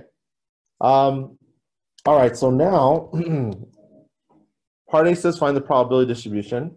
So little x and then probability capital X equals little x. Okay, so again, make sure you're completely clear what the experiment is. Make sure you're completely clear what x is. X is the amount of money you win. All the different amounts of money you can win go here. So what goes there on the left side of the table? Okay, if you're unclear, you read this carefully. It says X is the amount of money you win when playing this game once. X is the amount of money you win. All the different amounts of money you can win go here. Another way to say it is all the different numbers you see in this bag go here. Someone tell me what goes there. 10. So ten dollars. Make sure you put the units, okay? If it has units. So ten dollars. What else? Uh, $5. Five dollars. Yeah. Uh, $2. Uh huh. And then $1. And minus one dollar. Yeah. Exactly. Don't list anything more than once. So even though you see the two in this bag more than once, only list it once. We'll communicate the fact that it's there. That could happen multiple ways over here. Okay. So then we have to find the probabilities of these things. So now I'm going to erase the bags. But the idea is in this bag, I want to find the probability of 10. So I have to, the top number would be how many 10s I have in this bag. The bottom would be how many numbers I have total in the bag. But anyway, let me erase these bags now because the point is you should be trying to do it without the bag, without looking at the bag. But just the bag is just, you know, so you get what we're doing. So, okay, what's the bottom number going to be? 52. 52, that's right. If you ever get confused, you go back to the sample space. We're drawing a card out of a deck of cards. There's 52 cards total in a deck of cards. So bottom number is going to be 52 for all of them. I don't want you to look at it and go, oh, there's four things, so four. No. Go back to the sample space of drawing a card out of a deck of cards. There's 52 different things. Okay, now, how many of those cards will produce a win of $10?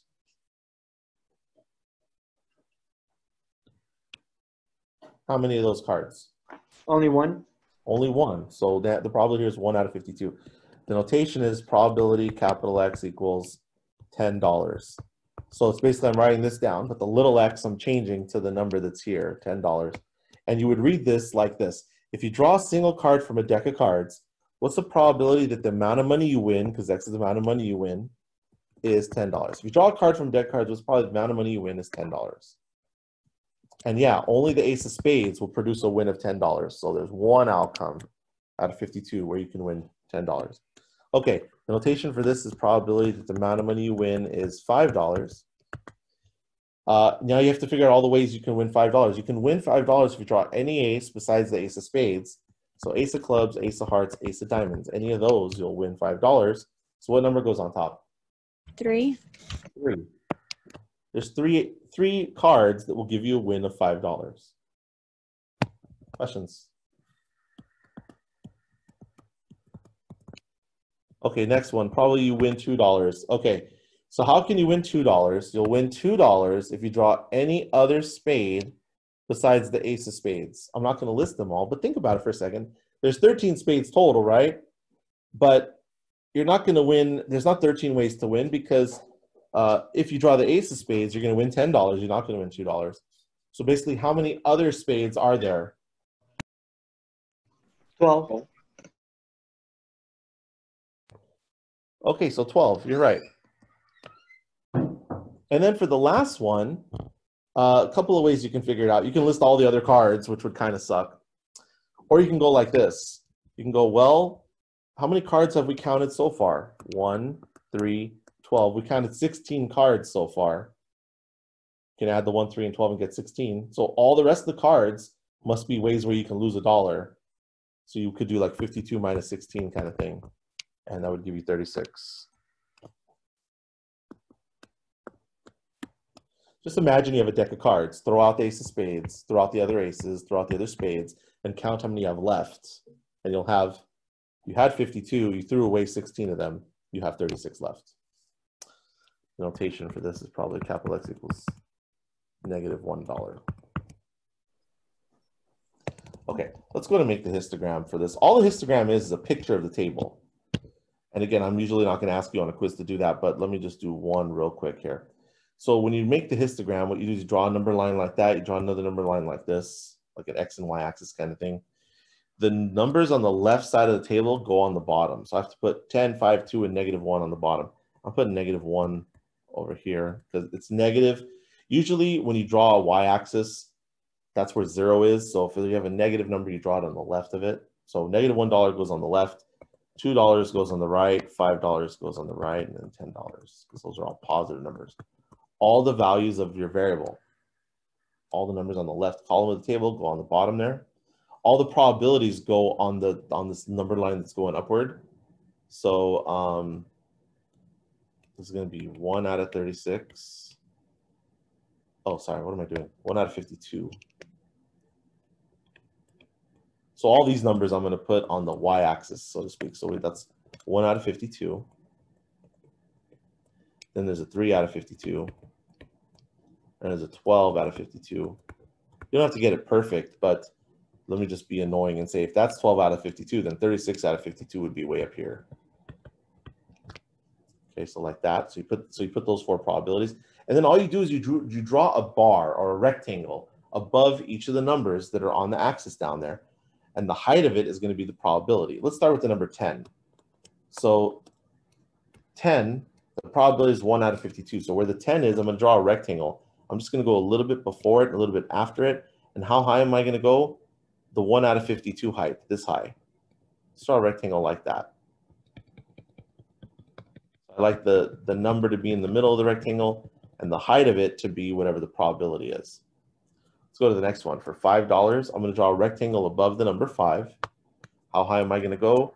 To the number 3 out of 52. So I start usually a little before it, a little bit after it, and I go to the height of 3 out of 52. I go that high.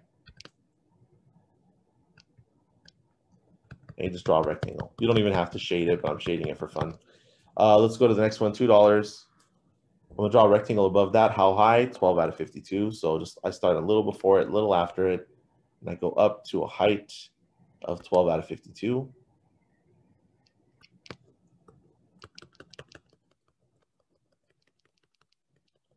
Okay, and then one more. I'm to draw a rectangle above the number negative 1. How high? 36 out of 52. So I'm to go a little before, a little bit after.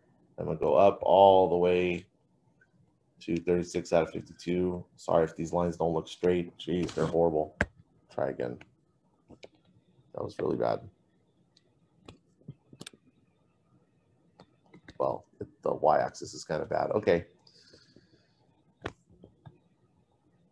Let's go to that height, 36 out of 52, and again, you can shade it if you want. That's a histogram. It's just a picture of the table. That's all it is. But good thing about having a picture is you can answer questions like, what's the most common thing that'll happen? Well, the higher the rectangle, the higher chance that thing has of happening. So losing a dollar has the highest chance of happening what has the smallest chance of happening, the shortest rectangle, is uh, you know, the higher the height is, the, again, the, the lower the height is, the lower the probability is. So the probability of winning $10 is very low. Of course, you can see that from the table as well. It's just a picture of the table. Right, that's how you make a histogram. Any questions on that much? Okay. Um, then it says verify this uh, satisfies the requirements for a probability distribution. Again, there's no requirements on the left column, uh, left column of the table. The left column can be any numbers at all, so you don't even need to look at those. But you look at the right column, and two things have to happen. First of all, all the numbers have to be between zero and one, and if you add them all, it has to be exactly one. Again, we can see all the numbers are between zero and one because the, none of the numbers are negative, and all the tops are smaller than the bottoms. That means none of them are bigger than one, so they're all between zero and one. And then you can add them up and see that we get exactly one. One out of 52 plus three out of 52, that's four out of 52. Plus this is 16 out of 52 plus 36 is uh, 52 out of 52, which is one. So it does satisfy the requirements. Again, that's very important uh, that you do that on the quiz to double check that you got the table right. All right, example three is done. Any questions? Okay, I got one quick question for you then if someone offers you this bet, all right, let's bet on uh, drawing out of a deck of cards. I offer this to you. Should you make this bet? Is it a good game for you to play or not? What do you think? No, No? Why not? because my chances of losing are higher than winning. Okay, chances of losing are higher than winning. Okay, you are correct. The chances of losing are higher than winning. But this is the next thing we're going to do. We're going to analyze games like this and see if it's a good game or a bad game. It actually turns out this is a very good game for you to play. And if anyone ever offers this game to you, you should play it and you should play it often. And if you're not willing, then call me up. I will play it for you and I'll play it often. Let me explain um, why. Because it's not just the probability that you care about. Like, let me let me change it. Let's say I know that there's such a big chance of losing such a small chance of winning. But let's just say that if you draw the ace of spades, instead of winning $10, you win $1 million. Would you play now? You would, right? Yes. Because you'd lose a bunch of times. You'd lose so many times, but each time you're just losing a dollar. But then eventually you're going to hit the ace of spades. You play it long enough and you're going to win a million dollars and that's more than going to cover whatever you lost along the way. So what I'm trying to tell you is when you're trying to figure out if a game is a good game or a bad game to play, you don't just look at the probabilities of winning and losing. You look at when you win and lose, how much do you win and how much do you lose? Those numbers are important too. And that's going to take us to the next thing. Expected value variance and standard deviation of a random variable. So remember, random variable, you can think of it as a bag with numbers in them. And basically what I want to know is the average, the mean of all of them, the standard deviation, which we call sigma, and the variance, which is sigma squared, of all the numbers in, in your random variable bag, okay? And the mean is called, all is called when, when we're dealing with random variable, we call the mean the expected value, okay? So it's kind of like stuff we've learned how to do, uh, you know, second day of class when we learn standard deviation, things like this. But there's a different way to do it when you have a random variable. So here, there's, so when I say random variable, think bag of numbers. I'm not showing you what's in there right now, but I'm giving you the probability distribution. When I give you probability distribution, what am I telling you? This is telling you the different numbers in the bag. So I know there's twos, threes, fives, and eights in this bag. I don't know how many of each, but there's some twos, some threes, some fives, and some eights. And the probability distribution, I mean, the probability part is telling me the probability of drawing that number out of the bag. If I was to put my hand in and draw once, I have a 20% probability of drawing the number two, a 10% probability of drawing number three, 40% probability of drawing the number five, and a 30% probability of drawing the number eight. So the probabilities kind of let me give me an idea of how many, don't look there, of how many numbers are in the bag. So this tells me there's twice as many twos as there are threes. There's less threes. Double probability of getting a two, so there's twice as many twos. What I want to do is I want to calculate the average standard deviation, and variance of all these numbers without seeing all the numbers in the bag just by using this table. So what I'm going to do for the next minute is I'm going to kind of derive a formula for you. It's going to get a little weird, but in the end, it'll be not a big deal.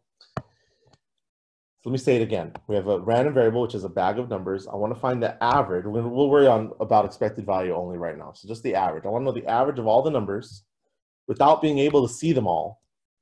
As long as I know the table, that's all I need to figure out the average of all the numbers in the bag. But I'm going to cheat. I'm going to show you the numbers in the bag for the minute. There's the numbers in the bag. Now we know how to find the average of those numbers. First of all, let me back up. Do you guys agree that this probability distribution is correct? Meaning there's only twos, threes, fives, and eights in the bag, right? You agree with that? Only twos, threes, fives, and eights, yes? Yes. Okay. And then there's 10 numbers total if you count them. The probability of getting the number two is two out of 10. There's two twos, 10 total. There's only one three, 10 total. So probably getting a three is one out of 10. Probably getting a five is four out of 10. There's four fives, 10 total. Anyway, so the probability distribution is matching this picture. Now to find the average, you're supposed to add them up and divide by how many you have. I'm going to do that, but I'm to do it in a weird way. So I'm supposed to do 2 plus 2 plus 3 plus 5 plus 5, whatever, and then divide by 10. I'm going to do that, but I'm doing it in a weird way. So you don't have to do things this way, okay? I'm going to derive a formula for you. So just check this out. But then you just have to know how to use the formula. So, okay, instead of writing 2 plus 2, I'm going to write 2 times 2. I'm trying to add all the numbers, but instead of writing 2 plus 2, I'm writing 2 times 2. That's still 4, but I'm writing it like this. The number that's outside uh, the parentheses is the number you see in the bag, and the number in the parentheses is how many times we see it there.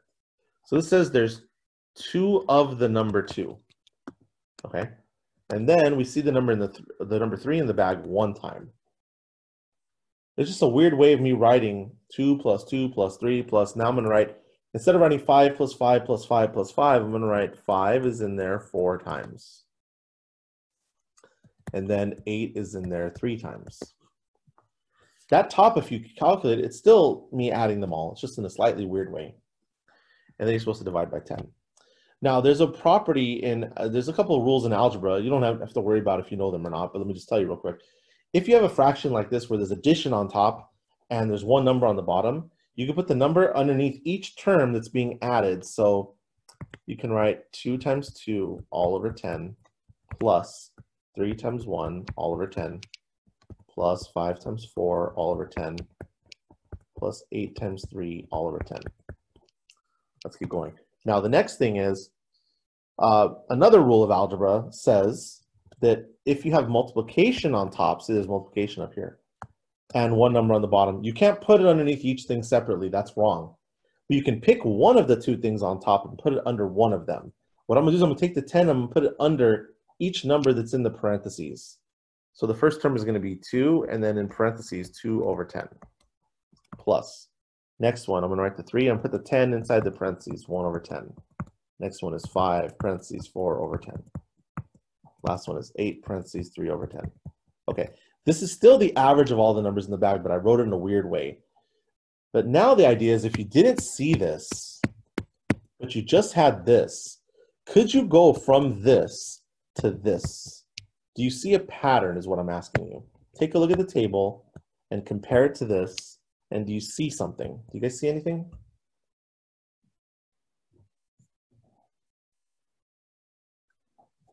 what I want you to notice is this first term here is what you get when you multiply those. This second term here is what you get when you multiply those. Third term is what you get when you multiply those. Fourth term, multiply those. So basically what you do to find the average of all the numbers in the bag, even if you can't see the numbers in the bag, you multiply the numbers in each row and then add them up, and that will give you the average of all the numbers in the bag. And we call that the expected value. And the formula for that is going to oh, let's see. Oh, I had more room here. Okay, anyway, formula for expected value is this. Don't worry about these. This is just notation from some other books. But we're going to use the symbol mu for average for expected value. And the formula is this. Sum of x p of x. x is the number in the left column of the table. p is the number in the right column. So you multiply the number in the, the, the number in the first, the numbers in the first row together. So the x times its probability. Do that for every row and then add them up. And that'll give you the expected value. That'll give you the average of all the numbers in the bag. Okay, so I kind of showed you where that formula came from. Now I'm not going to I'm not going to derive the formula for standard deviation and variance, but let me just give them to you. The formula for standard deviation, again, don't worry about this notation, but this is the symbol we're going to use for standard deviation. Here's the formula. it looks almost like this. This part here looks almost like this, but the x is squared. Okay, so if we take a closer look, you're supposed to square the x, then multiply by its probability. Do that for each row and add them up. That's what that says. Then you're supposed to minus mu squared. What's mu? It's over here. It's the expected value. So whatever answer you got to that, minus that squared, and then you take the square root. We'll do, we'll do an example in a minute. After you calculate the standard deviation, you calculate the variance very easy. The symbol for variance is sigma squared. Don't worry about this notation. And if you needed a formula, you don't need a formula because you just take this answer and square it. But if you needed a formula for it, you know, if you square this formula, it'll the square will cancel out the root and you just get everything without the root is what it is. So that's the formula if you needed it, but you don't need it. Uh, okay, and then um, one thing I want you to understand is we have two symbols for means, two symbols for standard deviation, two symbols for variance. Why am I using these symbols? Why am I using, using mu, sigma, and sigma squared instead of x bar, s, and s squared? The reason is because when you're dealing with random variables, the bag of numbers you get, I want you to imagine it's population data, not sample data. So since it's population data, these are the symbols we're going to use. And then when it, I didn't derive the formula for standard deviation, but this formula for standard deviation of all the numbers in the bag comes from this formula for standard deviation. Remember, we had two formulas for standard deviation. One if it's sample data, one if it's population data. This is the formula for sample data standard deviation where you divide by n minus 1. The formula for population data, you divide by n, not n minus 1. And I'm just, even though I didn't derive the formula, I'm letting you know this formula was derived by assuming we're going to divide by n. That's why we're using sigma. We're treating it as population data is what I'm saying there. Let's see what this problem says. You and a friend are betting on the roll of a die. Specifically, you'll lose a dollar if you roll a one, two, or three. You'll lose $2 if you roll a four or five. And you win $8 if you roll a six. Let the random variable x denote the amount of money you win when playing the game once. Find the probability distribution of x. Okay, so we're going to make a table.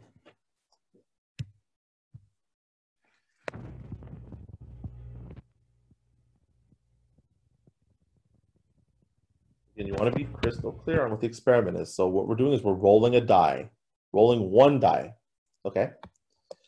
But the numbers here are not one, two, three, four, five, six. Some people might do that. Yeah, those are the numbers on the die, but you got to read what your variable is. It says X is the amount of money you win. So the amount of money you win has to go here, not the numbers on the die. So again, don't get confused between outcomes and values of X, okay? So these are the outcomes, but that's not what goes there. So what does it say? It tells you you can lose a dollar in certain situation. You can lose two dollars in another situation, or you can win eight dollars in another situation. What numbers go here?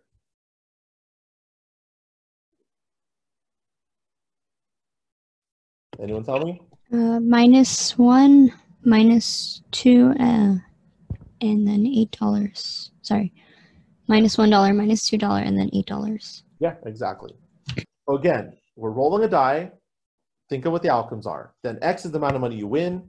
Think of all those amounts. So read carefully what X is, the amount of money you, you can win, all the different amounts of money you can win go here.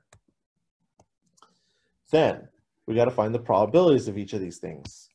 So that's when you go back to the sample space. Even though there's three different amounts of money you can win, uh, there's six outcomes when you roll a pair of dice. Oh, sorry, when you roll a single die. So all the denominators are going to be six. Now to get the top number, probability the amount of money you win is negative a dollar. This is probably the amount of money you win is negative two dollars. Probably the amount of money you win is eight dollars. Okay, let's do the first one. Probably the amount of money you win is a negative. So what's the probability you lose a dollar? You have to tell me all the ways you can lose a dollar. Well, it says you're going to lose a dollar if you roll a one, two, or three. So how many ways is that? Three. Three. So three on top. Yeah. Then it says you'll lose two dollars if you roll a four or five. How many ways is that? Two. Two. Last one says you'll win eight dollars if you roll a six. There's only one way to roll a six if you roll a six. So you have to go back to the sample space, back to the experiment, back to what's the experiment? We're rolling a single die. And there's six outcomes. Which of those will produce a loss of a dollar? Which of those so these will produce a loss of a dollar. These will produce a loss of two dollars. This will produce a win of six dollars, and then that'll help you figure out what the top numbers are.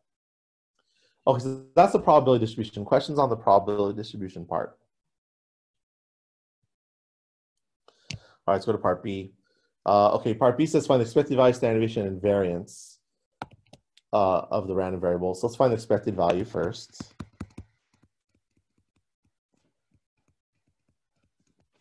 So symbol is mu. Formula is sum little x times probability capital X equals little x. But all you need to remember is multiply the numbers in the first row, then multiply the numbers in the second row, and then multiply the numbers in the third row.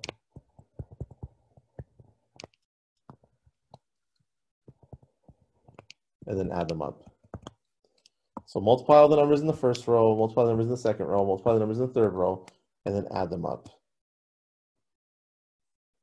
Okay, and when you're done with this, be careful when you type this in the calculator, okay? When you're typing a negative, that's all the way on the bottom, uh, basically bottom right of your calculator. Don't type the subtraction symbol accidentally because then it'll give you an error.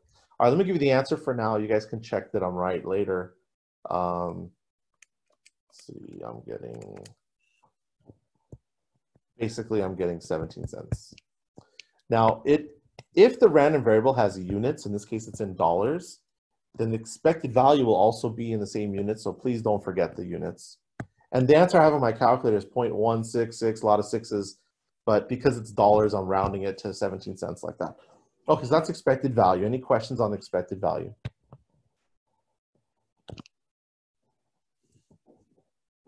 Okay, let's do the standard deviation. Now, even if you get the uh, part, so first of all, make sure you get part A right, okay, on the quiz. If I ask you to find the, the probability distribution, if you get this, if you get these numbers wrong, it's all over for part B because all the calculations in part B depend on this table. So take your time, make sure the table is right. Then, even if you get the table right, a lot of times students will get the expected value right, but then they mess up on the standard deviation. I don't know why. So let's talk about it.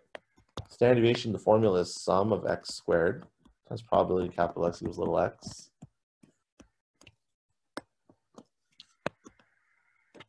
And it's minus mu squared and then squared of all this.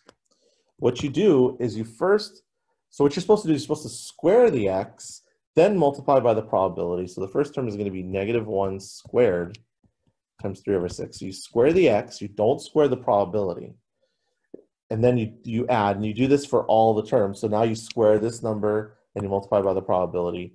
So negative 2 squared times 2 over 6 plus the next term you square the x and multiply by its probability. So square the 8 multiplied by 1 over 6.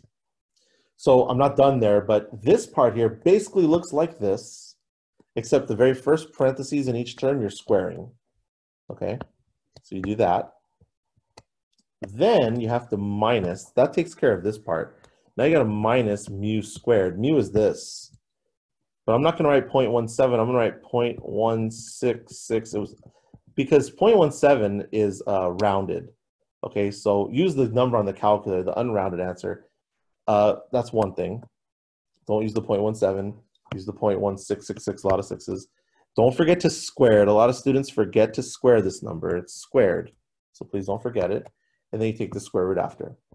Okay, so I'll let you type this on the calculator, you know, after class and whatever. But uh, another thing to tell you, I've mentioned this to you before, second day of class. When you're squaring a negative, the negative goes away.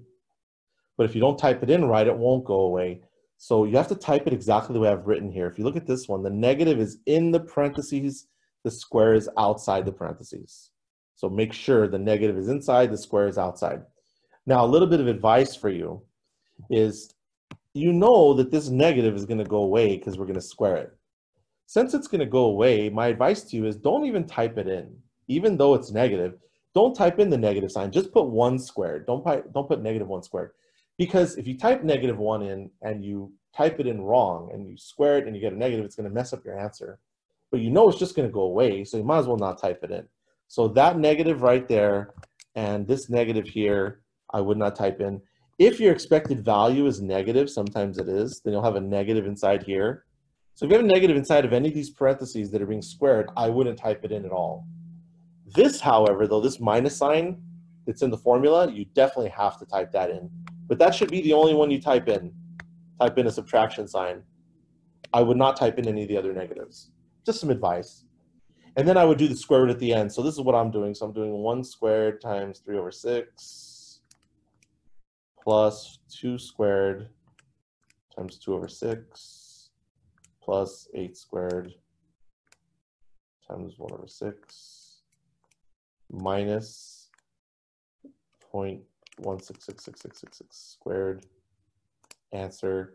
And then I'm going to take the square root at the end. The way you take the square root at the end is you do second square root, second answer. We've done that before. Second root, second answer, 3.53.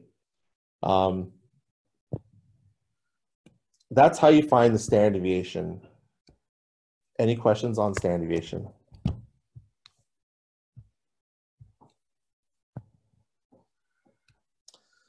All right, let's do the um, variance real quick. Variance is real easy. Once you do have the standard deviation, it's easy.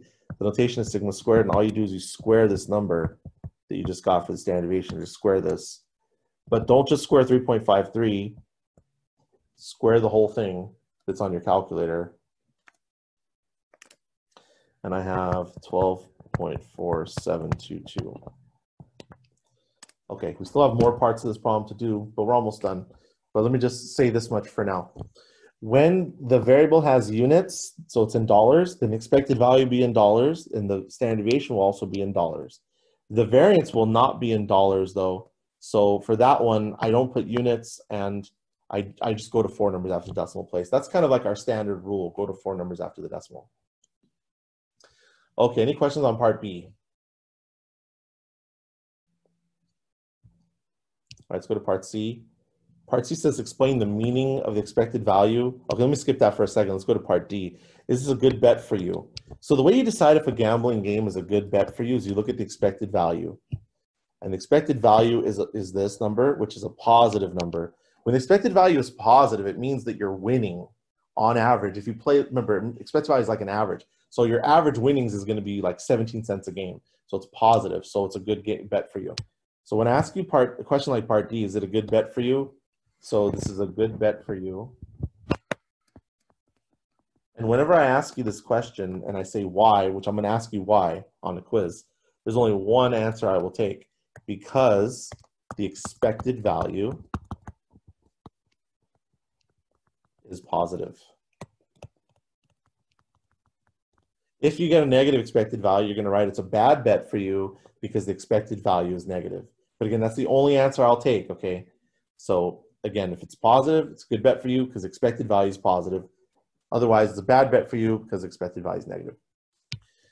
All right, now let's talk about how to explain the meaning of that 17 cents. So the expected value was was this, just to remind you, how to explain the meaning. When you're so we've talked about how to explain the meaning of probabilities in here, and you're supposed to say if you do something many times. Well, the expected value is calculated from some probabilities, so we're gonna have to talk about many times again. And there's two ways to explain the expected value depending on if it's a gambling game or if it's not a gambling game. So this one is a gambling game, so I'm gonna I'll tell you how to explain it. But then um, when you go watch the videos afterwards, there's going to be at least one example where it's not a gambling game. So make sure you pay attention to that so you know how to explain it in the different situations. Basically, what you're going to say is if you make this bet with a friend many times and you look at your winnings or losses and take like the average per game, you're going to be winning about this much per game. So here's how we're going to write this down. So if you make this bet many times. For gambling games, I'm going to have you write it's as if. And that kind of gets rid of a lot of words. But the word average is in there. Sometimes students write the word average, it's good. It'll average out to as if this happens. That's fine if you do that. That's even better, but I won't make you do that. If you make this bet many times, it's as if you win. Why am I writing win? Because expected value is positive. Don't forget to put about, about 17 cents per per bet or per game. Let's put per game. Make sure you guys understand that's a per game average is what that is. So if you were to play this game over and over again, forget what happens along the way. I know you're going to lose a dollar sometimes, lose two dollars, win eight dollars. But instead of that, forget it. Just pretend that every single time you make the bet, your friend hands you 17 cents. Okay, so, so every single time, 17 cents. I know it's not going to feel that way for a little while, but after you played many times, let's say you played this game a million times, then it's as if your friend handed you 17 cents a million times. So you'll be up very close to $170,000, basically what that means. So that's the idea there. When it comes to like bets in Vegas, almost all of them, pretty much all of them, have negative expected values. So when it comes to Vegas, they don't really care who wins and who loses. They just care that people keep playing. So if the expected value on a game is negative 17 cents, then they just want people to, people to keep playing. Every single time you play, it's like you handed them 17 cents. You might win, someone else might lose, but it'll average out at the end of the year as if, you know, let's say someone played the game, you know, a million times. It's like they were handed 17 cents a million times. That's the idea. Example five. It says you're going to draw a single ball from the bag that's over here, and let x be the number that you drew in the bag, drew from the bag. And then it says, okay, find the probability distribution of x, find the expected value, standard deviation, and variance of x, and explain the meaning of the expected value that you found in part B. And it says, hint, some calculations were of for this problem already done in this uh, in the lecture notes. So I know I did them already in the lecture notes, but I'm going to just go ahead and do them again. So let's go ahead and look at part A. So part A says find the probability distribution of x. When you make a probability distribution for a discrete random variable, chapter 6 is about discrete random variables, chapter 7 is about continuous random variables. I know we haven't talked about what those mean yet. I'm going to wait till chapter 7 to tell you. But when you're trying to find the probability distribution for a discrete random variable, you're going to make a table. Okay, so we're going to make a table, and it's going to have two columns. The first column up here, you're going to label it with an x. The Second one, you're going to write probability capital X equals little x. Okay, then you have to pay attention to what the experiment is and what the random variable is. The experiment is we're going to draw one number out of this bag, and the random variable is the number we get. So you have to think, okay, well, what are the different values of the random variable? Once you figure out what they are, you put them in, in this spot. All the different possible values of your random variable. In this case, all the different numbers we could draw out of the bag. So you just list the different numbers that we can draw out of the bag. Now, when you list them, don't list them more than once, okay? So we know the number two can come out and there's two different twos. Don't write the number two twice. So, okay, so we're gonna put two because two is the number I can get out of the bag. What else can we get out of the bag? Okay, we can get threes, fives, and eights. Those are the numbers that can come out of the bag. Okay. Then on the right side of the table, we're gonna write down the probability of getting those numbers. The notation for this one would be probability capital X equals 2.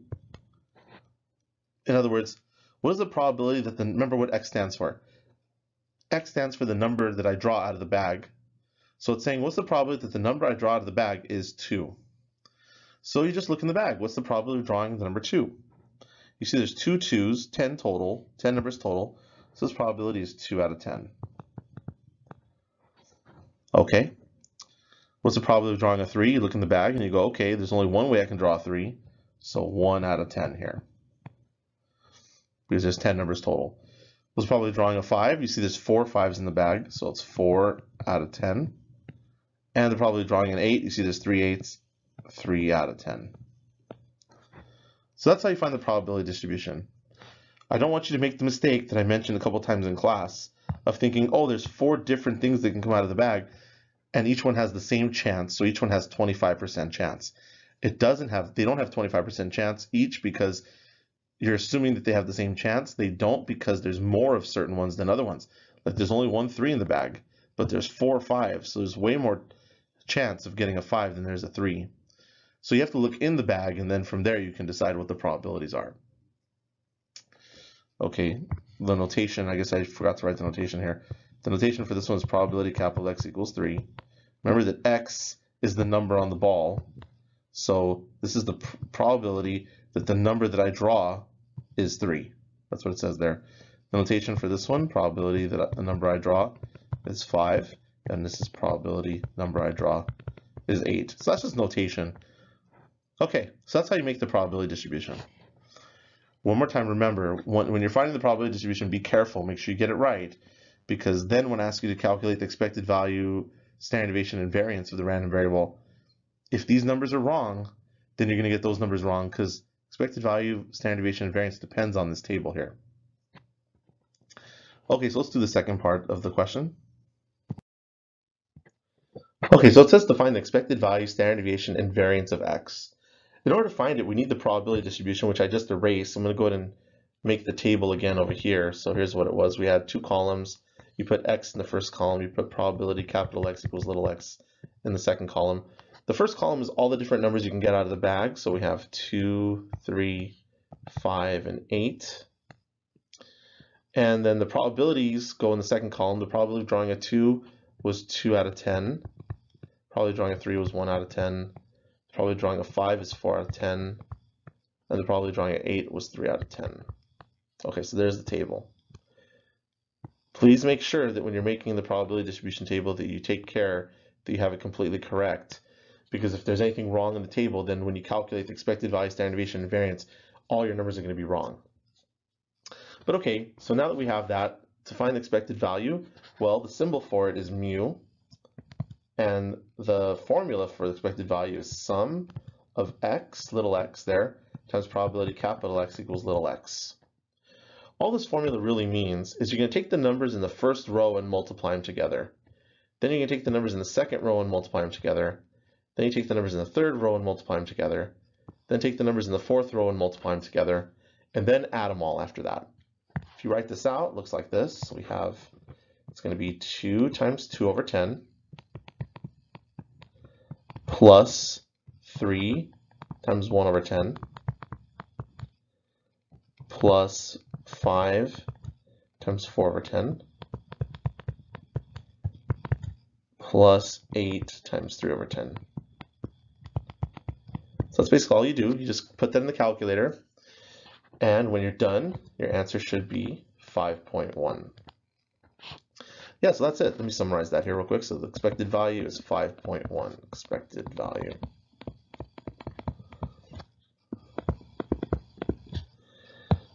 Now, let me just talk about units real quick. If your random variable has units, or another way to say it is if these numbers here had units, like if this was $2, $3, $5, that kind of thing, then your expected value answer would also have the same units. That would be $5.1, for example. But in this problem, there's no units at all because the numbers are just the numbers that are written on the balls that are in the bag. There's no unit at all, so your expected value doesn't have any units here. But please don't forget to put the units. If x does have units, then you have to put units for your mu. Okay, so that's how you find the expected value. Now let's go ahead and find uh, the standard deviation. Okay, so to find the standard deviation of the random variable, we have a different formula. The symbol is sigma, and the formula is sum of x squared, that's a little x again, probability capital X equals little x, minus mu squared, and then the square root of all that.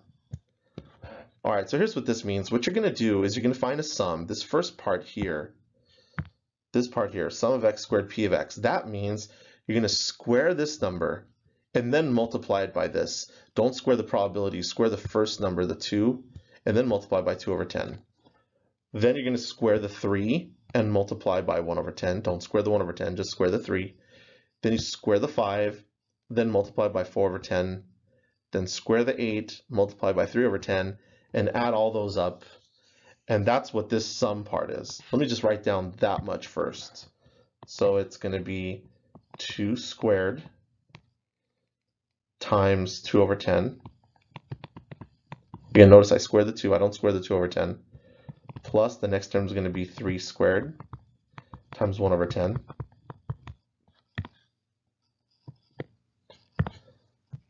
Next term is going to be 5 squared times 4 over 10 plus 8 squared times 3 over 10. Now there's more to do than this, so I'm not done there, but I'm going to have to erase the table since I ran out of room there. But that's the first part. That takes care of the sum part.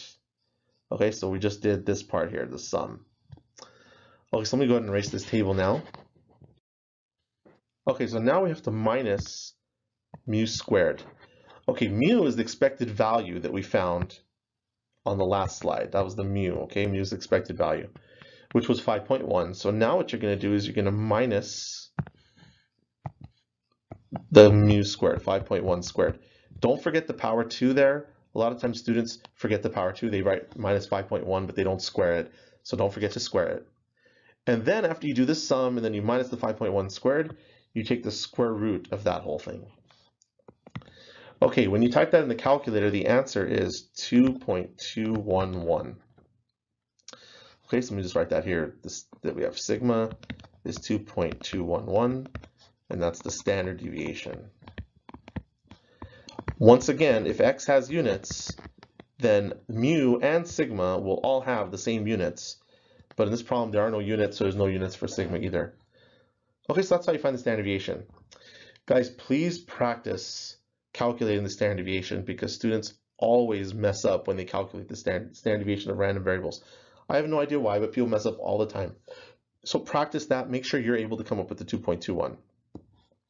Okay, the only thing left to do is to find the variance, right? We found the standard deviation here. That was sigma.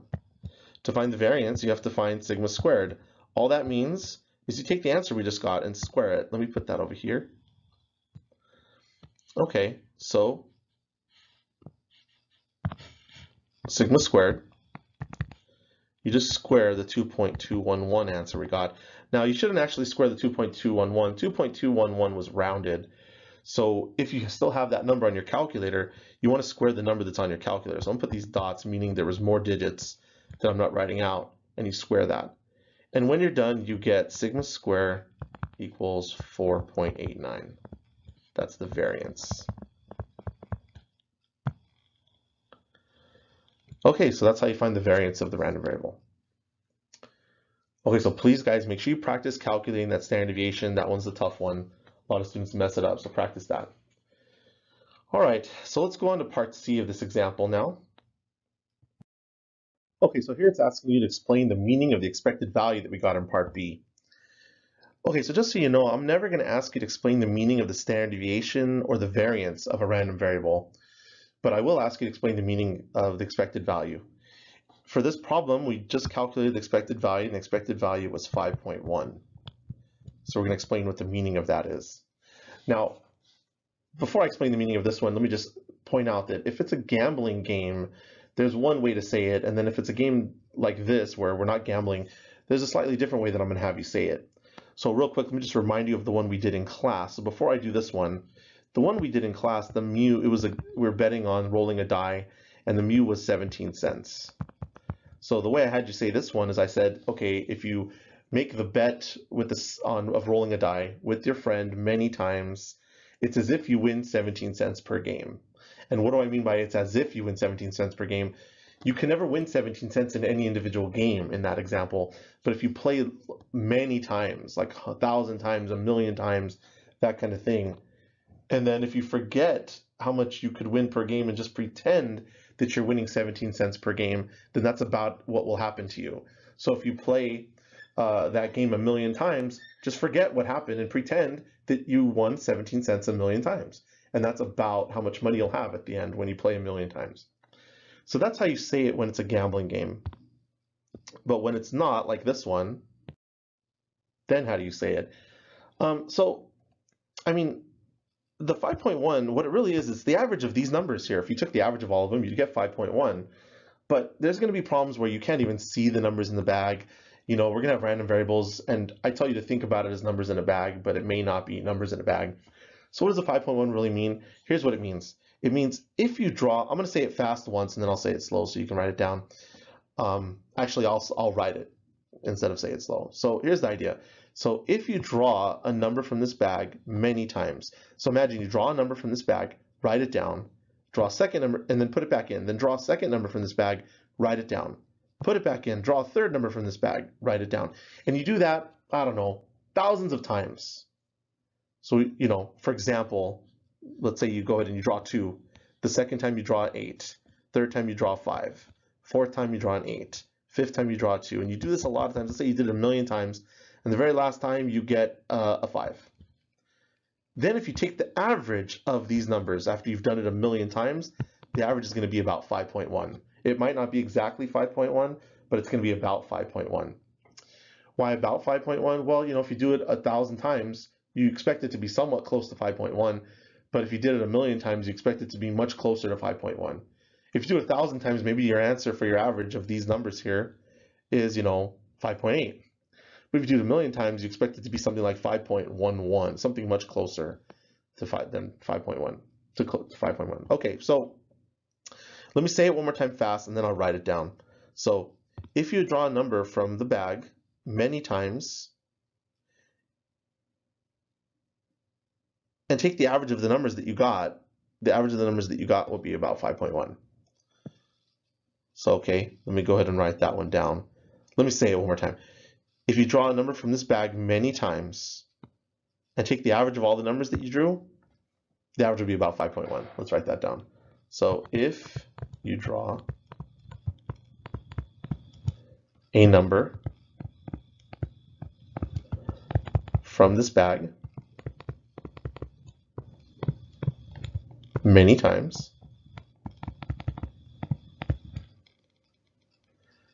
and take the average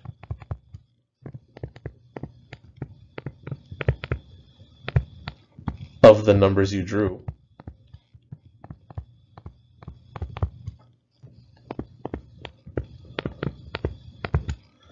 The average will be about 5.1. So I know that one's a little bit weirder than the gambling one, but that's the way it's going to happen when it's not a gambling game. That's how you're going to write it down. Okay, so we got one more example, guys. Let's go ahead and look at the next example.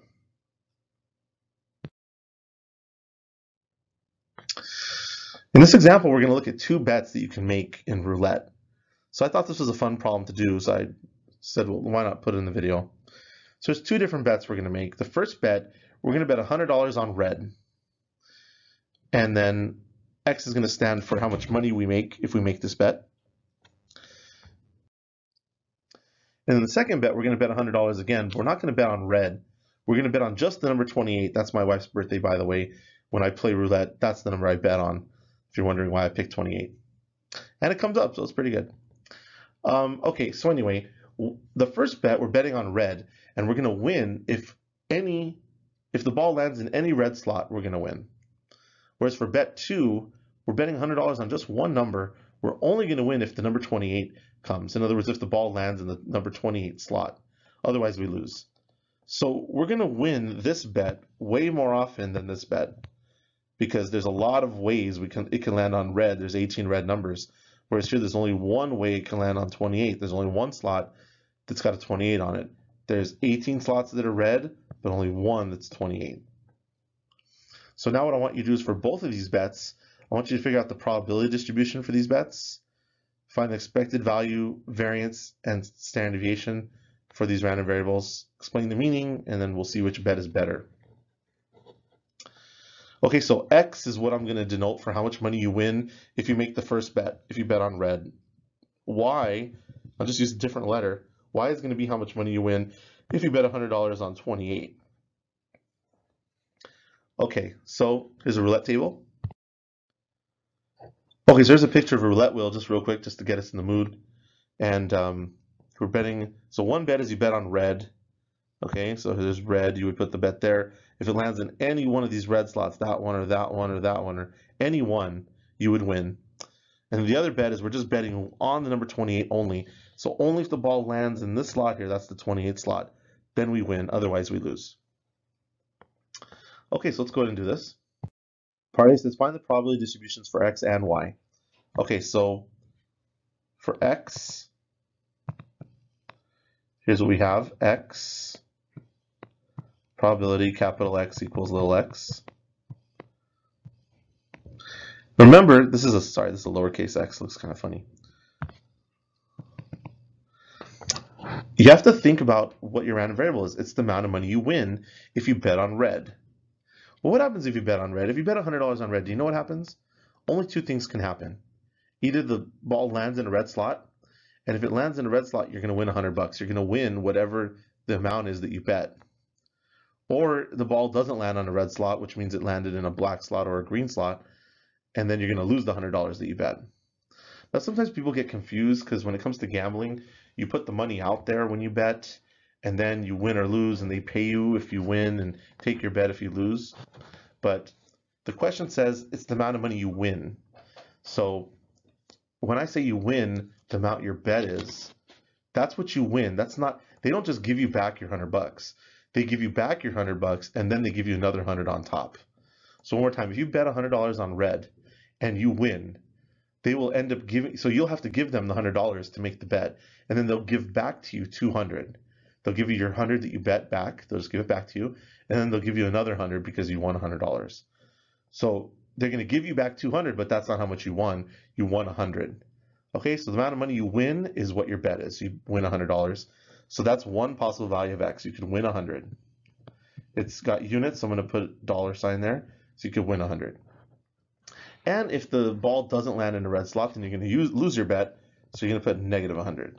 So that's what can happen to you if you make this bet. You either win $100, $100 profit, or $100 loss. You give them the $100 when you make your bet, and they keep it if it doesn't land in a red slot. Okay, now let's go ahead and find the probabilities. And again, you don't want to do something like this. You don't want to say, hey, there's two outcomes over here, so it's got to be 50-50. That's definitely wrong because it's more likely for it to not land in red than for it to land in red. How many ways are there for it to land in red? To, that's what you have to think. Or another way to say it is, if I want to find the probability that x is 100, okay, so the notation for this right here would be probability capital X equals $100. Or the what's the probability I win $100? Well, you have to go, how can you win $100? You win $100 if the ball lands in a red slot. So how many are there? There's 18 red slots, and there's 38 total. So that's the probability of the ball landing in red. Okay, for this one, this is the probability capital X equals negative $100, which is the probability you lose $100. So you have to think, how could you lose $100? So the way you lose $100 is if the ball lands in a black slot or a green slot, or another way to say it is any slot besides the red slots. How many slots is that? That's 20. If you're like, where'd you get the 20 from? Well, I'm counting the 18 black slots and the two red slots. That gives me 20. Or another way to say it is, if there's 18 red and 38 total, so 18 red, 38 total, how many are left that are not red? You subtract and you get 20. Okay. So that's the probability distribution for x. Okay, now let's go ahead and talk about y.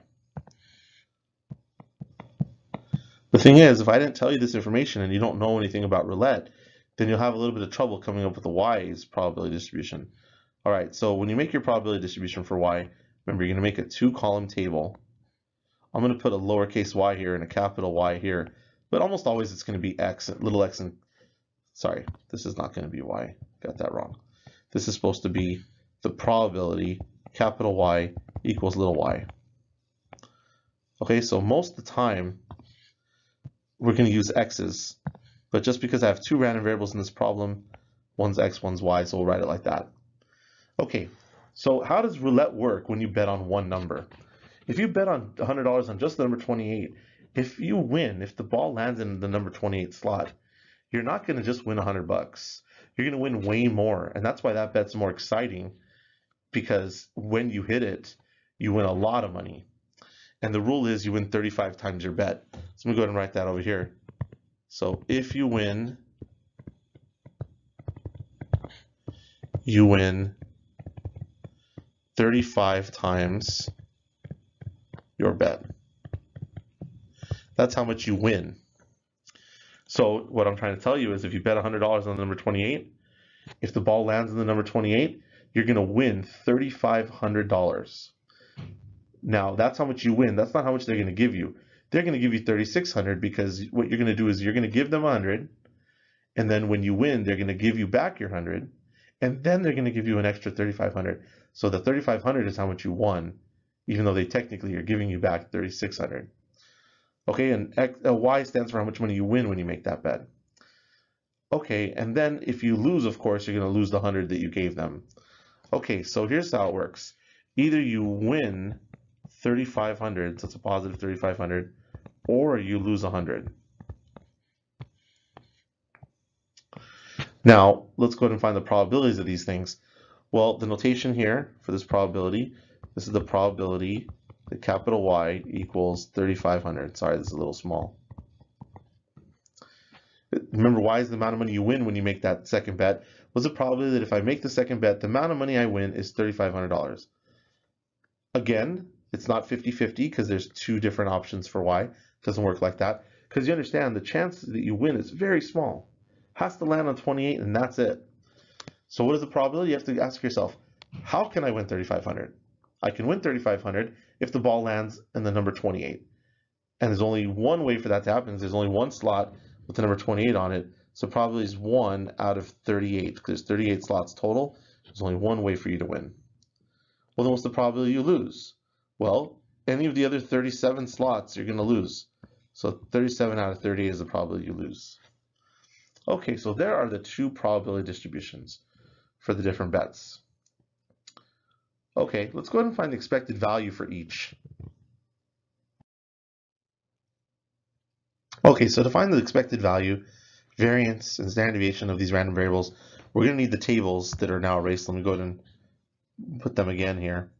So for x, it was that you could either win 100 or lose 100. The probability of winning 100 was 18 out of 38. The probability of losing 100 was 20 out of 38. That was for the, the X bet, the one where we just bet $100 on red. And then the table for the Y bet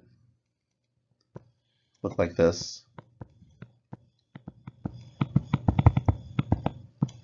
So you could either win 3,500 or you lose 100. This is the bet where you bet on the number 28 only. And if you win, you win 3,500. And if you don't land on 28, you lose the 100. The probability of winning the 3,500 was 1 out of 38. The probability of losing 100 was 37 out of 38. All right, so let's go ahead and find the expected values and for each of these things. Let's start with the, the x bet. So I'm going to call it mu with an x down here. Now you don't have to do that, but that's just so I can distinguish it between, is it the mu for x that I'm finding or the mu for y? The formula is sum of x probability capital X equal X, like that. Okay, but what does that mean? It means you multiply the numbers in the first row together, so you can multiply these numbers together then multiply these together, and then add them all. So what you get, you do, okay, so you do 100 times 18 out of 38, and then plus negative 100 times 20 out of 38. And when you calculate that, you get negative, now it's in dollars. Remember, when the random variable has units, this, the expected value and the standard deviation also has the same units. So this is also going to be in dollars. And the answer is negative $5.26. Okay, so that's for the, the bet where you're betting on red. Okay, um, I don't want to say much about the meaning until we get there, but let me just say that it's basically like if you keep making this bet, the casino doesn't really care if you're going to win or lose along the way. It'll just pretend that you lose $5.26 every time you make the bet. So every time you put your hand on the table to make the bet, forget doing that and just imagine you hand it over to the casino $5.26. If you can just imagine that happening instead, if you play a long time, that's about how much you're going to be down. Okay, we'll talk more about it in a minute. Let's go ahead and find the expected value for the y bet. So I'm going to call that mu y. I guess the formula I'm supposed to put y is in here, and then this would be a lowercase y here, and this probability capital Y equals little y. But anyway, it's the same idea. You're going to multiply the numbers in the first row together, then multiply the numbers in the second row together, and then add them all up. So you're going to get 3,500 times 1 out of 38 plus negative 100 times 37 out of 38. And the answer is, put in the calculator, you get negative $5.26 again. You might be going, wait, Greg, that doesn't make sense. You must have made a mistake or something. No, I didn't make a mistake. Expected value is $5, negative $5.26. It turns out in roulette, if you bet $100, no matter what bet you make, the, the expected value is always going to be negative $5.26, whether you bet on red, black, even, odd, uh, first 12, second 12, third 12, first row, second row, or column, first row, first column, second column, third column. If you bet on only one number or, or two numbers or three numbers or four numbers or six numbers, any of those things, if you're betting $100, your expected value is negative $5.26. There's actually one bet in roulette you can make where you bet on five numbers all at once. And that one actually has a slightly worse expected value. But other than that, they all have the same expected value. Now, what I want to do is I want to kind of figure out which bet is a better bet. Um, first of all, I want to say a couple things. I don't condone gambling. I don't recommend anyone go gamble. If you, uh, you know, people get in a lot of trouble gambling, so I really advise against gambling. Um, if you do want to gamble for fun, you know, you need to make sure you can control yourself and not lose money you can't afford, that kind of thing. If it's for fun, then I guess you can view it the same way as like going to the movies. You go to the movies and you spend money. You go and gamble and you spend money, as long as you don't lose that much money, you know. So again, I advise you not to gamble. And over here, the other thing is um, the expected values are negative. So they're both bad bets in the, in the sense that when you place the bet, it's as if you're just giving the money to the casino. You're giving them $5.26 per game. Just forget playing the game. Imagine handing them $5.26 every so often. And that's basically what you're doing. So from the expected values alone, you can't really tell which one's a better bet. Again, they're both bad. But I still want to get an idea of, okay, even though they're bad, which one's uh, more bad or that kind of thing? Which one's a little bit less bad than the other one? So the way we're going to do that here is we're going to look at the standard deviations. Okay, so now I'm going to calculate the standard deviation for each of these things. I'm going to go ahead and write down the mu here real quick. So the mu we got for x is negative $5.26.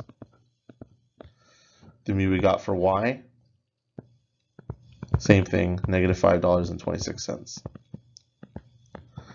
Okay, let's erase some stuff and get ready to find the, sta the standard deviations. Okay, so to find the standard deviation for x, I'm going to call it sigma with a little x here, just to distinguish it from the standard deviation for y. The formula is sum of x squared probability capital X equal little x. Then it's minus mu squared, and then the square root of this whole thing here. So what does that mean? What it means is you're going to go and you're going to square this first number, then multiply it by this, then square this number and multiply it by this, and add them, and that'll give you this part of the answer. Let's do that part first. So we're going to do 100 squared times 18 out of 38 plus negative 100 squared times 20 out of 38. Okay, then after you do that, then you're going to do this minus mu squared term, where you're just going to minus the expected value. I'm talking about this expected value that we found earlier. So minus that squared, so I have to put a negative 5.26 squared in here.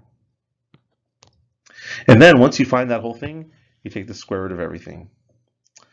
And the answer that we get for this, if you plug in the calculator, uh, actually before I tell you the answer, let me just say a couple things here. Uh, first of all, try calculating it on your own before I give you the answer so we make sure that you're able to do it. And the second thing is, remember that when you square something, if there's a negative in there, the negative is going to go away. So when you go to do this term right here, you're going to square the negative 100. The negative will just get squared away. Same thing over here. There's a negative inside this parentheses, and it's going to get squared. So that negative is going to go away. So my advice to you when you type this in the calculator is don't even type those negative signs in. Because if you type it in wrong, you could definitely get the wrong answer. And they're going to get squared away anyway, so just don't even put them. But this sign right here, this is not a negative sign, this is a minus sign, and it's not inside a parentheses that's getting squared, so you will have to type that one in. So when I type this in the calculator, I'm going to type 100 squared times 18 over 38 plus positive 100 squared times 20 over 38 minus parentheses positive $5.26 squared. That's how I'll type it. Okay, then when we type it in the calculator, okay, here's the answer. Don't forget that since x has units, uh, that mu has the same units and standard deviation has the same units. So the units for this are in dollars. So it's going to be how many dollars? Looks like it's $99 and 86 cents if you round a little bit. That's the standard deviation of x. Now it's going to be hard for me to explain the meaning of the standard deviation for the moment, but uh, let's just at least write it down and let's go ahead and find the standard deviation for y. So let's erase some stuff here.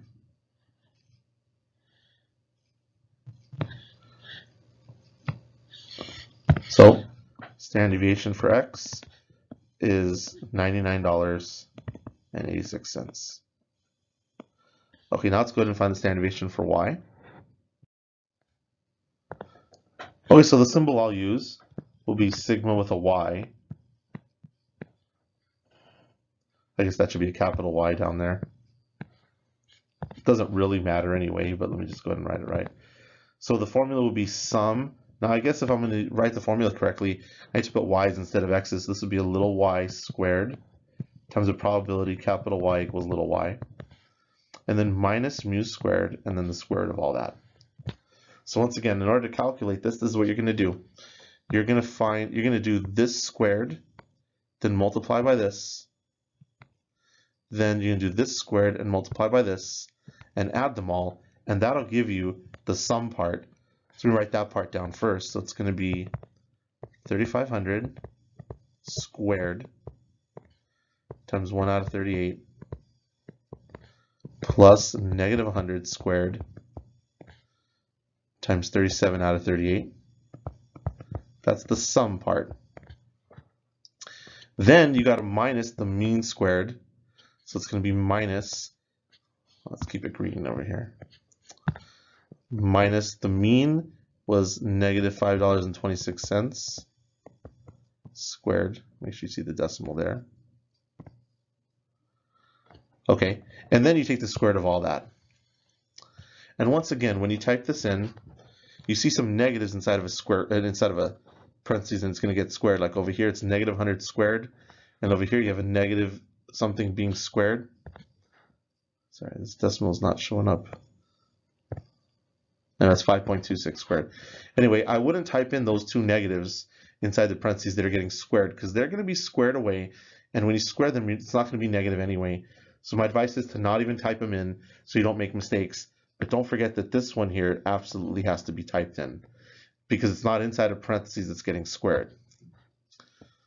Okay, so one more time. When I type this in, I'm going to be typing 3,500 squared times 1 over 38 plus positive 100 squared times 37 over 38 minus positive 5.26 squared. And then once we get that answer, we'll take the square root of that. Okay, so put in the calculator and you get, remember it has units again, so it's going to be dollars. So we get $576 and 26 cents. Okay, so I'm going to go ahead and write that over here. Sigma y equals $576.26. Okay, so now at least I have something that distinguishes the two bets.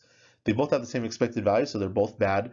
They're both as if, if you play these, make these bets long enough, whichever one you make, it's as if you're giving the casino $5.26 per game. That's what the, the mus stand for. That's for either bet. But notice the standard deviation here is $99, and here it's way higher, $576. All right, so let's talk about what this could mean here. Remember, standard deviation is supposed to measure how spread out things are. In this case, what it does is it measures how, um, how what happens to your money, basically. When you keep playing for a while, does your money get, I don't, I guess spread out is not the right word. Maybe does it swing a lot? Does your money go up and down wildly, or is it kind of stay somewhat steady? If you can imagine a graph, let me erase this up here so I can draw a graph. So for this, this first example here where you're betting on red, try to imagine that as I go this way, it's my making more bets. And if the graph goes up, I'm making money. If the graph goes down, I'm losing money. So if you're betting on red $100 every time, and let's say, for example, this is break even right here. So when you start, start making the bets. Okay, maybe you win one, lose one, lose one, win one, lose one, lose one, win, lose, win, win, lose. And your your money's going like this. eventually your money's going to go down. Yeah, maybe you get into a profit, but eventually your money's going to go down because it's like you're giving away $5.26 per game.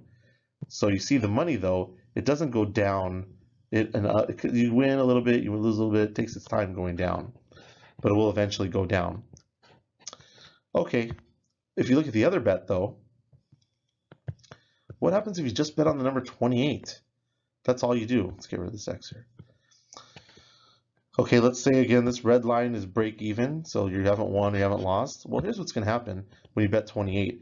It's so hard for it to come up, so here's what's going to happen. Lose, oops.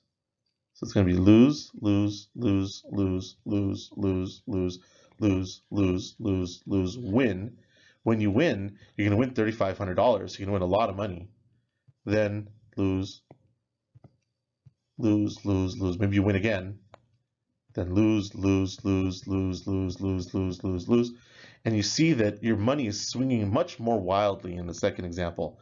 The money's going up and down all over the place in the second example. That's what the standard deviation lets you know. Okay, so it's telling you how is what's going to happen to your money as far as swings go. Are you going to go up and down wildly, or are you going to go up and down pretty steadily? That's the idea. So if someone asked you which one's a better bet, well, it depends on your personality, I suppose. From a mathematical standpoint, you would probably say the first one's better. This one over here. And the reason is because your money will last longer. If your money is not swinging wildly, then maybe you can play longer before you lose all your money. Again, anytime you gamble, if you play long enough and you have a negative expected value, you're going to lose all your money eventually. But if the lower the standard deviation is, the longer you can last with that money. That's kind of the idea there. Whereas in the second example here, since the standard deviation is so much bigger, you know, you only have to hit not hit the 28 enough times and then you lose all your money. Yeah, if you would just hit it once, you'd win a ton of money, but if you don't hit it, then your money's swinging wildly and you can lose all your money right away. So mathematical, from a mathematical standpoint, the first bet's better. Now let me just tell you from a person who likes to play roulette every once in a while. This bet, second one, is definitely more fun it's more fun because when you hit, you hit big, so it gets real exciting. So again, it does depend on your personality, um, but yeah, you got to be careful making the second bet. You should, if you're going to make a bet like that, you know, don't bet $100. Bet a lot less, of course. Nobody bets $100. That's crazy. But if you're making bets kind of like this, it's really fun when you hit it, but don't play it too often because otherwise you're going to lose all your money really fast. So this one's exciting because there's wild swings. So wild swings makes it exciting, but on the other hand, not having wild swings allows you to play longer. So again, I think if you, if this was in the book, actually this problem probably is in the book. If it's not, it's in a lot of books. Um, it'll say things like the first bet is better because you'll last longer, that kind of thing. Okay, I've really cluttered up this slide over here, and I still have to find the variances. I never found them. Let me go ahead and do that here real quick. Okay, I know it's real easy to find the variances, but let's go ahead and do it real quick. So to find the variance for x, all you do, oops, the notation would be like this. All you do is you square the standard deviation. The standard deviation is 99.86 and some other stuff squared. And when you square that, you get, looks like it's 99 72.299 now, I'm not going to put units on this because the units for variance are pretty weird. if the random variable is in dollars, then the expected value, standard deviation are also going to be in dollars, but the variance is going to be in dollars squared. That's the units. And what does dollars squared mean? Yeah, I can't even get my head around that, so I just don't put units there. So that's the variance for that one. And if you're going to find the variance for y, I guess the notation would be sigma y squared. You just square the, the sigma that we found, 576.26 squared, and you get, looks like 332,077.6. I think I'll just leave off the units there. Yeah, so that's how that goes. I guess to make this thing complete, let me write it down here too. Sigma squared, the variance 9972.299 And the variance for y, much higher, of course, because as we said, this game, there's much more wild swings. Yeah, that's how that one goes. Okay, let's look at the next part of this problem. It says explain the meaning of expected values that you found in part B. Okay, so one more time, let me remind you of the expected values that we got. They were both the same, so I only have to really explain them, the game once. Maybe I'll explain it twice. Okay, so the expected value for x was negative $5.26. Okay, that was for x. And the expected value for y was the same thing, negative $5.26. What does it mean? Well, let's go ahead and explain this one first. It means if you bet $100 on red many times, it's as if you lose about $5.26 per game. That's the way I want you to say it if I ask that on a quiz. Let me say it one more time. If you bet $100 on red many times, maybe we should add in that we're playing roulette. Okay, if you play roulette and bet $100 on red many times, it's as if you lose about $5.26 per game. You're going to say lose because we have a negative number there. Let me go ahead and say the one for y. So if I want to explain what this expected value means, you're going to say if you play roulette and you bet 100 on the number 28 many times, it's as if you lose about $5.26 per bet or per game. Okay, so that's the idea. That's how you're going to say it. When it's a gambling game, I want you to say it like that. Let me go ahead and say this second one one more time. If you play roulette and bet $100 on the number 28 many times, it's as if you lose about $5.26 per game. So no matter what you do, if you're making the first bet or the second bet, the casino is going to pretend that they're making $5.26 off of you every time you make the bet. They're again not going to care what actually happens. You might win 20 times in a row, start losing, you might win and go home, you might lose, who knows. But the point is you're going to play, you're going to play a lot. When you leave, there's going to be someone else to take your place and they're going to play and they're going to play a lot. So it's as if somebody's playing many, many times. So then it's going to average out, because remember, expected value is an average. It's going to average out to be that the casino is going to make right around $5.26 per game. Okay, let me go ahead and write it out once. Bet one here. For bet one, if I ask you to explain the expected value, you're going to say, if you play roulette,